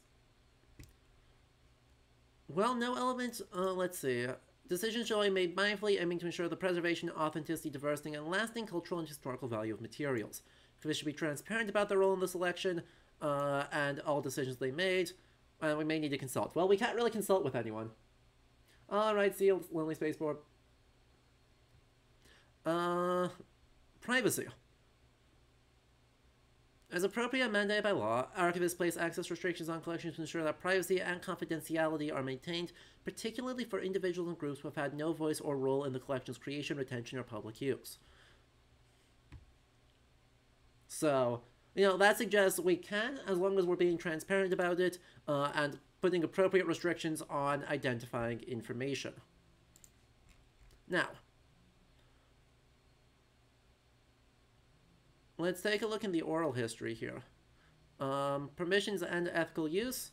Releases should be signed. Um, let's see. Narrator intent for access and use of an interview should always be respected. Ideally, the narrator is the donor, in which case we get a release form. Or there's a third party uh, where we have the signature of the interviewer. If the potential donor does not have the release for an interview, it is not recommended that the archives accept the donation, since access may not be provided to such recordings without exposing the archive to ethical complications. Archives with legacy oral histories in their holdings that do not have any kinds of release may consider locating the narrator or their next of kin. Alright.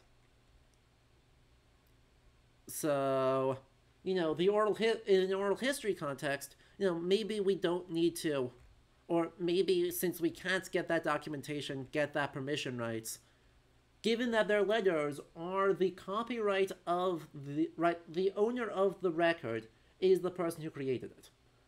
If we collect this, it is the owner of the person who created it, even though we collected it.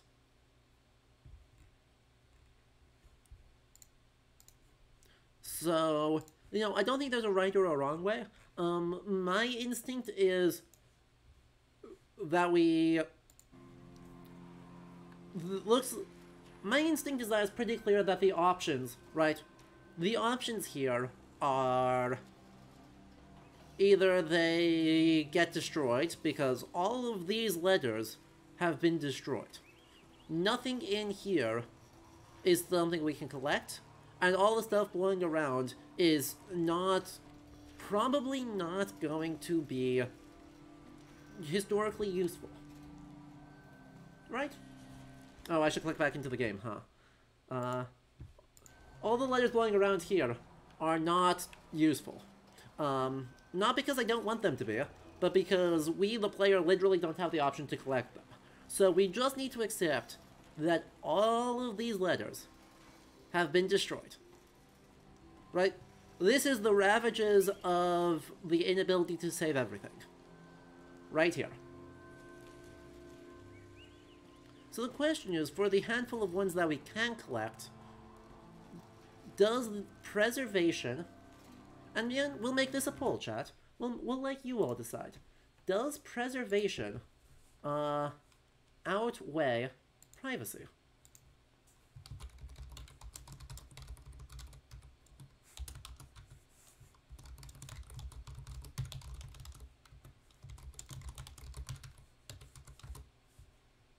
We'll give you two minutes for that. Alright, so do, if you are lurking, do make sure you click into the stream window to, at the top of chat, there's a poll as to whether you think we should collect these letters in this abandoned uh, mail sorting facility or transport facility. We do not have the option, we do not have the option to take it without opening it.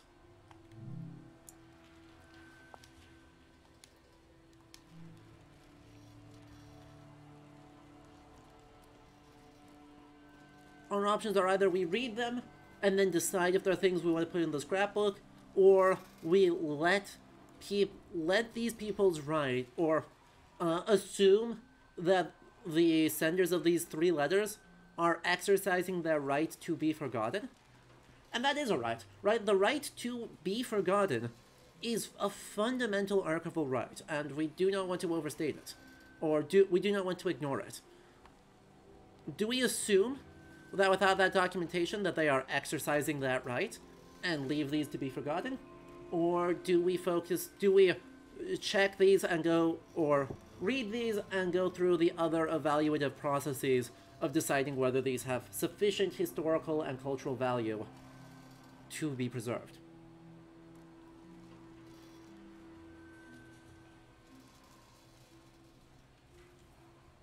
There is no correct answer here, which is why I'm making it your all's decision.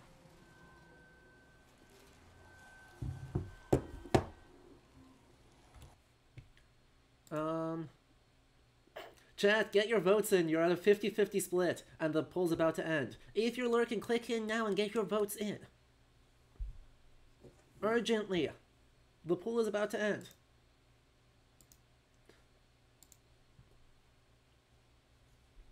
Welp. Thank you, chat. So kind of you.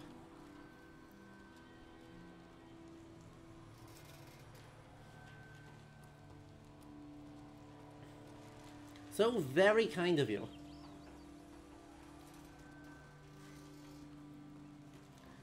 So, since you all very graciously uh, did not vote and instead got a 50-50 split, we're going to be collecting them, right? I am going to take the assumption that these are, well, these seasons, right? These are probably just before the war, so these are probably sometime around 770. It is 40 years later. For the large part, these recipients are probably not um, going to be found, and given how much other destruction is going on, um, these letters will be lost if we don't take them. So we're going to take them, we're going to take a look at them, and then we'll go through the rest of the appraisal process. Because you all didn't vote, and so we are going to be reading them. Yep. Hey, look. Please get this letter to Dr. Fumio. I am suffering from memory access, but I cannot travel to the village for treatment.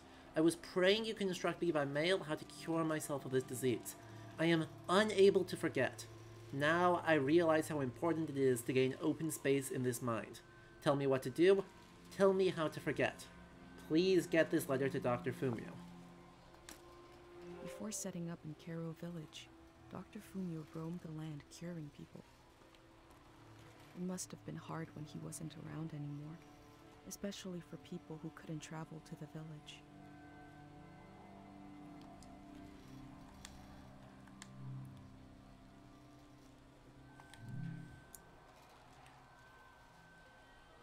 Oof. Dear Cornelius, I've thought it over and I have to tell you. The name you picked for your baby? It's terrible. Please do not go forward with it. I pray this letter reaches you in time. Yours, Derino.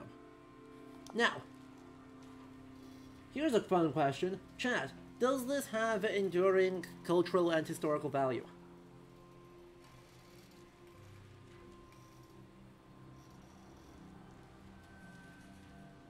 Another fun and exciting question. Poor baby. Another fun and exciting question. Um.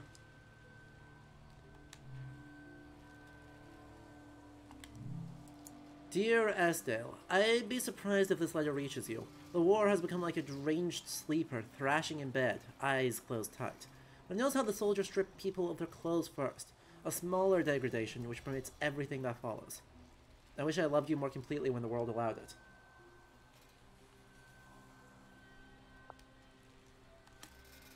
They were right. The letter never made it. The season before this one, the war, seems so horrible. God. I love that we know that the season's going to change, that a lot of these are going to persist, but also that there is all this material, right? There is a deep history here despite the changing of the seasons and the forgetfulness that seems to entail. But there is an extremely deep history here. I feel like if we knew the baby's name, it would have more value. True, but these are potentially the only record of uh, multiple human beings and their children, right? As an isolate, as an isolated material, I would argue this has minimal minimal value. As part of a collection, right? If we were able to contextualize this a little bit better, uh, we would a hundred percent um be a count that as something with uh, historical value for certain use communities. For genealogists, for genealogists, that's extremely valuable.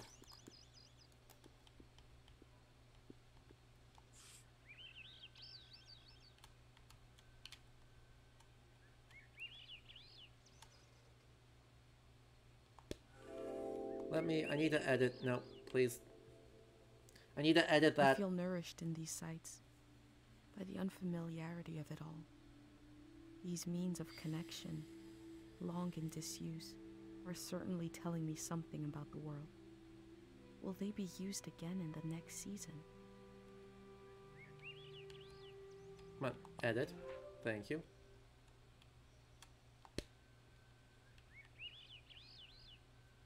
So this is Leafton, this is Leafton, or Leyden, this is Leyden. We've overrode it. I wish we could tip this in, adhere this into the page. Exactly, we have a whole page dedicated to Dr. Fumio.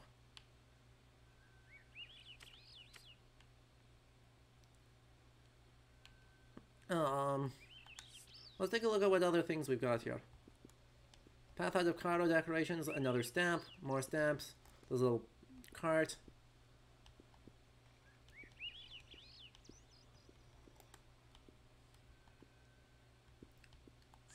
If we're collecting material, we're already collecting material related to Dr. Fumio. So, letters, letters to Dr. Fumio indicating reputation and value. Very useful. And this, right, as an isolate, we don't know who Cornelius is, we don't know who Darino is, and we have little other material to say that we are going to, uh, you know, get value out of it. That being said, we can, we don't have to make our final decisions yet, so we can hold on to this, and if we collect, if we locate other materials related to Cornelius and Darino, um, that suggests, right, that that can start to build out a coherent corpus related to a community, and then it becomes something with enduring historical value. Right now, it doesn't. But that means we need to update our document.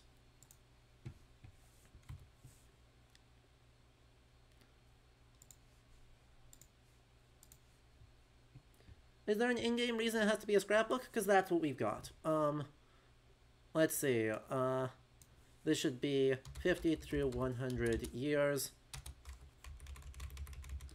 Right, because we are a single person working in a community, and that's the restrictions the game puts on us, is that we're making a scrapbook uh, of archival material rather than creating a several hundred linear foot archive. Right? The trick is we are traveling around, we are our lone ranger, we are traveling around, we've got a limited amount of documentation to work with. And so the job is to make the choices that we make. Um, issue. Um, consent to be collected. Preservation issue. Uh, letters were never sent, um, or were never received. Now,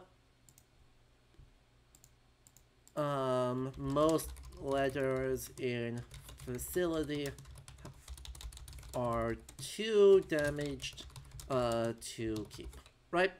The other ones we were seeing around there, uh, it suggests are... We're just going to frame that as being too damaged to keep, rather than uh, phrasing it as game says no, right? In reality, it is game says no for the vast majority of that material, but uh, let's see, value issue, um, personal correspondence equals uh about Dr. Fumio. I should correct that. Personal correspondence about Dr. Fumio. Um, records of war. Uh, personal about naming.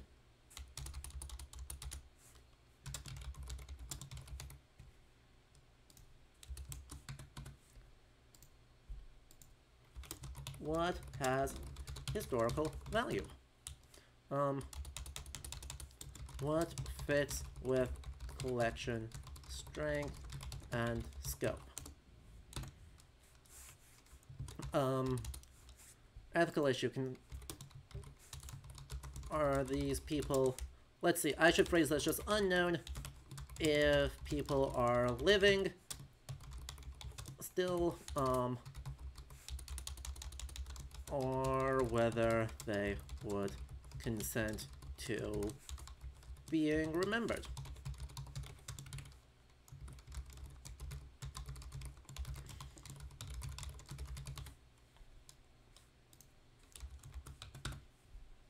There we go. Right. Um, decision collect for now. Maybe read it later. If we can obtain rights, that'd be great.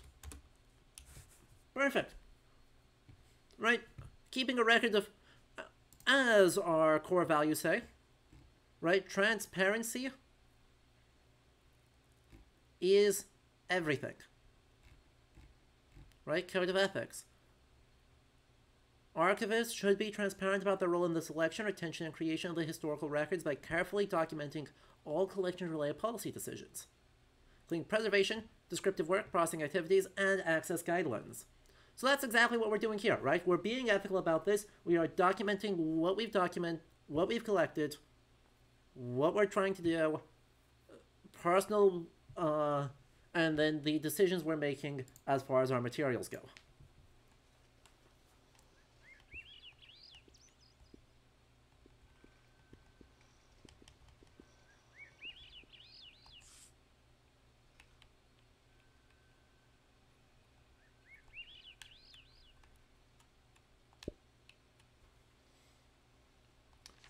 Right? Trying to be thorough about this. Let's go get our bag. Actually, let's try and get a photo of the whole facility, huh? Actually, is there one? Is, do we get? Is there one more letter here? I don't remember. There is one more letter here, or one more something here. Oh. Oh, that's fine. Caro special, Caro specialist, soothing ointments. What's this one up in the back there. The Asian Islands? Postcards! Oh, oh, I feel like I'm walking tipsy on the edge of the earth. We're skipping from island to island, the way a stone skips along the surface of the water, leaving little ripples, like a kiss or two. Oh, I don't know. I just miss you today, and today, and today. XOXO, you know who. Sent to Miko Advis, 745 Heritage Row, Route 4, Prismatic Grounds. I am curious about what's up in the back there, right? The the one that we can't look at. The Tiang Valley? Hey, guess where I am? I hope you looked at this this side first. I had to pay my respects to the birthplace of Manches. There's a lot of tourists, but also a weird feeling to the place. It would take me more than a postcard to explain. Take care, Aldo. Kellio, 5C Block 20, Radiant City Apartments. Ankara Village? Don't bother trying to visit, it simply isn't that kind of location. This village was very hard to find, but if you really need it, somehow you make your way there. I just want to let you know that I'm staying here for good. This season can only meet a violent end. It's too bright, too cheery. Stay safe. Conway. To Big Oni, Swing 4, Blissful Constellation. Chat, do we want any of these postcards? I don't want these postcards. Postcards are so much fun as archival material. Hint. We want all of these postcards. Right? According to the uh, exact same thing that we did all of that. Right? According to the same logic that made the decision making for these other materials I can right see now. in these letters that the outside world has extremes, with beauty and tragedy beyond anything I've known. Uh, right, as it is right now, we a hundred percent want to collect those, even if they don't make it into the final thing. We want to collect fairly expansively and then make decisions after the fact.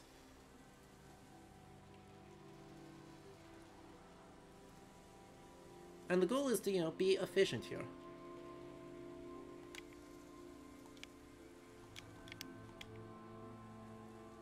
Oh, there's a melancholy attached to that warm filter to me. Oh, I love that. The irony of Caro is that it's a closed off place on the outskirts of a busy trading hub. A postal hub we hardly used is practically on our doorstep. Alright, well, we have a lot. Right? What's notable is that there's no way. Right? We could just, like, stack material over and over and over. Try and put everything in here, but that's not going to be useful. That's not going to create a usable scrapbook. Because presumably a lot of this is pasted in.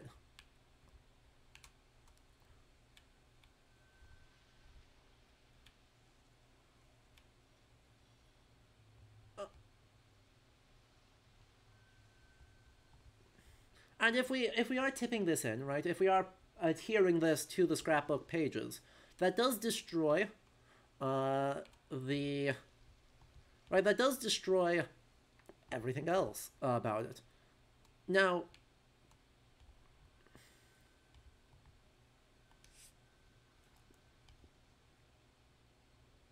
right, I wish I could put this in. Uh,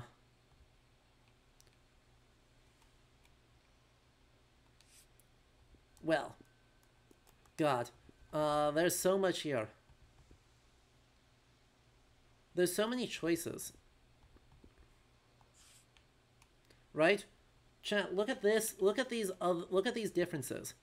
I can see in the le these letters that the outside world has extremes of beauty and tragedy than any, uh, than anything I've known. Says one particular thing about this world and what this archive is about. Versus the irony of, of Caro is that it's a closed off place on the outskirts of a busy trading hub. Right? This would suggest that the scrapbook is about Caro, or that where we're at right now in our archival community journey is that this is about Caro.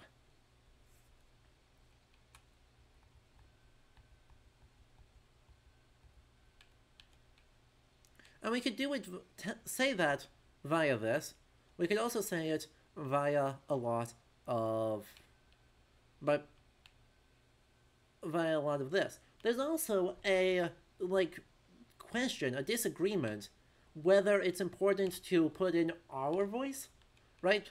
Do we put in our voice, our interpretation, our historical context? Or is that not our place? Do we uh do we instead look at communicating a lot of this via letting the objects speak for themselves. Do we want to let these objects speak for themselves and let their highlight their voices, or do we want to, given that this is a community archive, uh, as much and a personal scrapbook all at the same time are we trying to or do we think it's more important to communicate these via letting the text speak as they are highlighting all these spaces.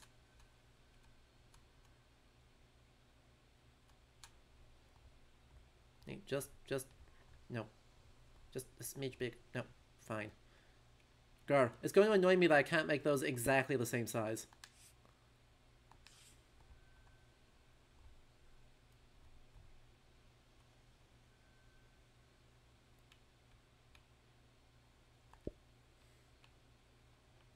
Right, that's the thing you're struggling to make sense of, because as much as we're archiving for the future, it's very much us in the creation with our voice. Exactly.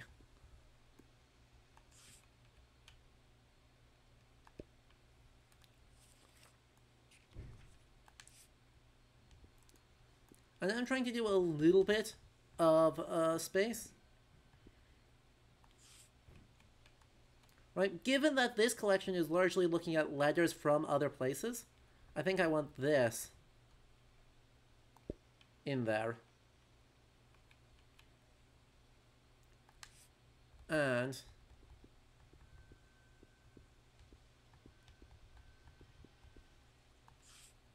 we could try and put this in across the bottom there.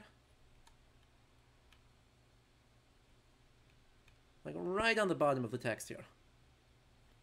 Right, we could do something like this. I think that's a good enough place to start with, because, again, I want to highlight that we are not locked in. We are not locked into our decisions yet, which is great. I'm grateful that we are not. But man, we are having to make so many of the right decisions. Right? Doing the archive in the form of a scrapbook, it's even more like a travel journal with uh, memories of more than us. Exactly right? This is this is the community archive par excellence, right? Uh, this is the well, we have a lot of the same concerns as an institutional archive. This is as much a subjective, personalized experience of the world uh, that is recording a community's memories as much as it is uh, a statement about uh, about this institutional archive that people are donating to that has a whole bunch of other things associated with it. But like, so right, these are, this is a personal experience. I love that photograph, uh, that's a, but that's a personal experience. This one is more of a location-based one, and then these are all archival records. Right? Archival record, archival record, archival record, one, two, three with this framework, we don't currently have space for that uh, letter from Dar uh, to Cornelius. But, you know, we'll see if that changes. Also, it's a scrapbook, so we want to decorate just a little bit. You know? Hit us with that consistent little pink splotch everywhere, because that's delightful. Can I put anything else in here? Are there more information? Um...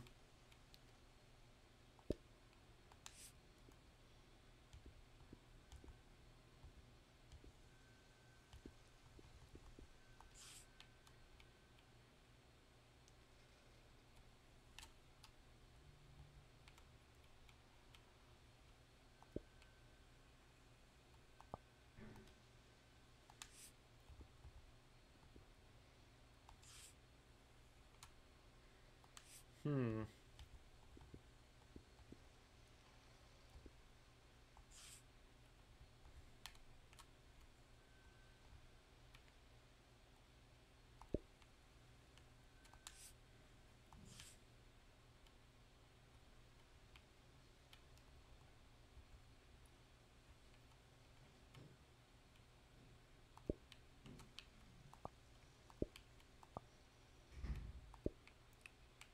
There we go.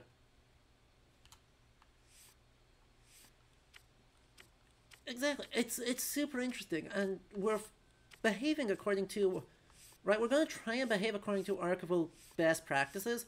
Archival best practices probably say we want to minimize this a little bit, but I also want to be honest about that story and the experiences to it. So I expect my thoughts on this will continue to evolve and change, and we'll just keep keep exploring it, keep exploring how we want to do this. But I do want to just emphasize, right? Uh, if someone wanted to take the approach of being like, hey, uh, we just want to uh, make this intensely personal, right? Make this very much an archive of one, an archive about one person and their travels through this land. That'd be a completely valid decision. Like, there's no universe in which that would be an incorrect option. It would just be an option with consequences, and that is okay. Making a perfectly um, sterile document-based archive is also a thing with consequences. So, I don't think we need to worry. I don't think we need to be um, super focused on what we think is best practices. Uh, because as long as we're staying within a decent realm, uh, or super strict on doing things like an like an institutional archive would, I don't think we need to be too too worried. Let's park that.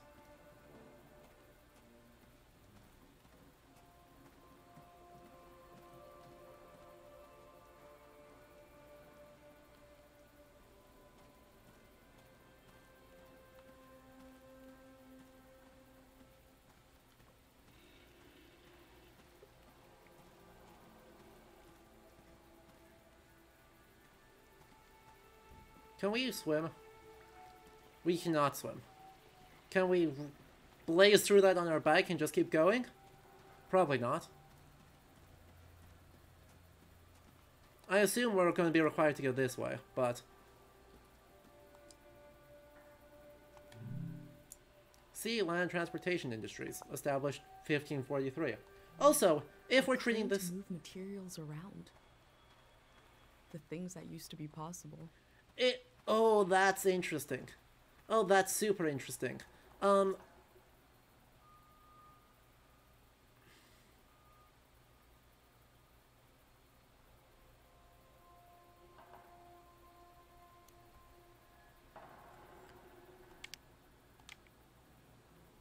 Do you know what, um...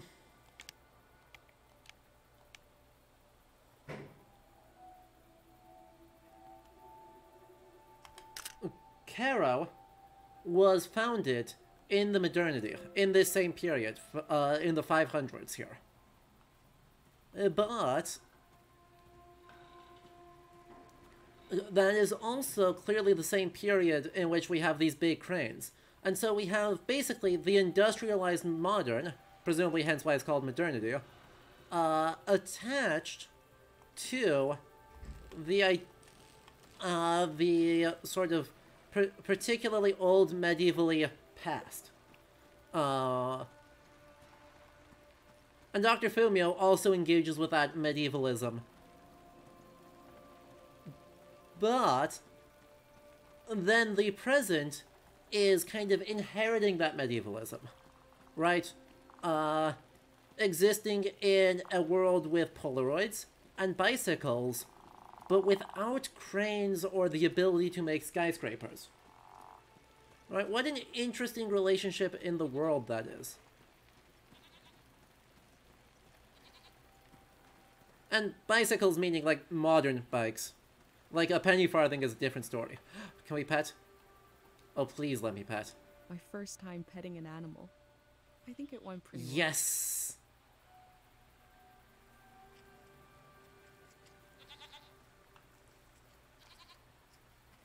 How's the second time petting an animal gonna go? Hmm, that time it felt off. I guess I had beginner's luck before. Badly. Alright. Third goat's the charm. Okay, now I got it back. I'm in control. I can easily pet certain four legged animals.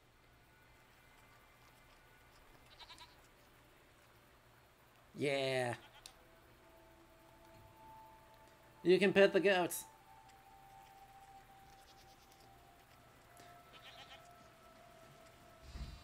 God, you can see the road going up there. All of this. Wow. There's obviously a fight between Dr. Fumio's view and the time of the season of industrialism. Yeah, and Dr. Fumio is living um, centuries afterwards, right? Dr. Fumio lives in the 700s. This was founded in the... Uh, right, he he lives sometime, um, dies within living memory, so sometime probably around 770, 780 during the war season. But clearly was active in like the mid 700s in the season of plenty. And then these cranes are from the start in the 540s. We need to archive at least pictures and probably recordings of goats. We could archive a recording of a goat.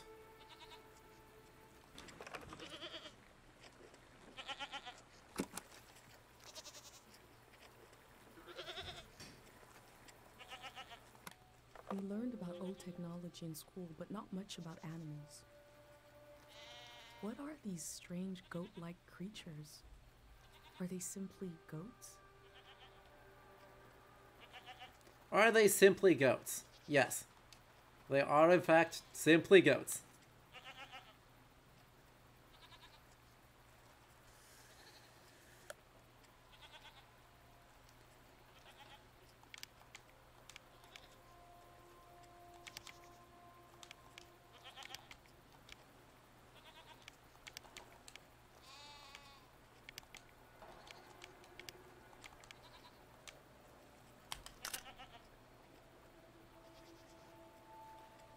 We have regarded the goats.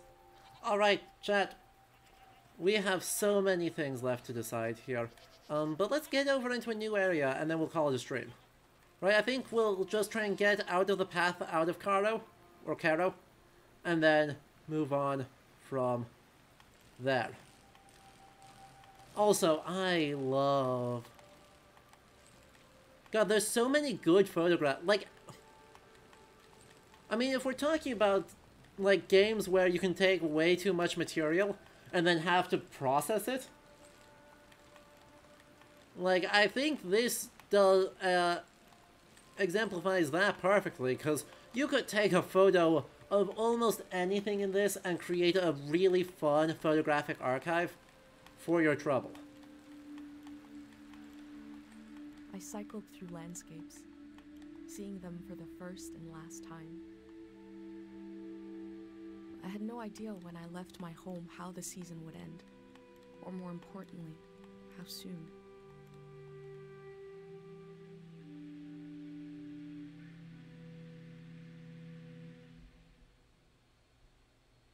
There's such an I know, right? The the as a photographic archive, getting to explore On a cold, damp day, all of this. I feel true loneliness for the first time. There's wind turbines. Nobody could have described with words how big this world is, how it goes and goes. I passed through it, where others passed before me. There's functioning wind turbines. Wait, hold up. Those wind turbines are working. Alright, well, um, I think we are going to have to uh, figure out why the heck there are functioning wind turbines in this world, uh, next time. Because, yes, unfortunately, uh, I think we are pretty well out of time, and that is a phenomenal little stopping point. Well, chat, I hope you all thoroughly enjoyed that, because I sure did. God, there's so many good archival decisions to be making. It's so cool. Support this game, folks. It's 10% off right now, because uh, the launch discount. So, if you like this, please do consider picking it up and supporting the devs, because they obviously deserve it. Because holy moly, that was delightful. I think we're going to be back with this on Tuesday, because I just want to, I want to play more of this game. I want to play so much more of this game. Alia, you did not talk too much. You did not. You did not talk too much. You are also in this field, uh, so your expertise is equally appreciated. It is so delightfully and chill, and they're ask. They're making you make all the right choices to communicate the like core challenge, right? There's a lot of things that are like not how archives function, but or not how uh, I guess organized archives function. But in terms of making you ask the right questions and consider what stories are of significant value to be telling, this is perfect.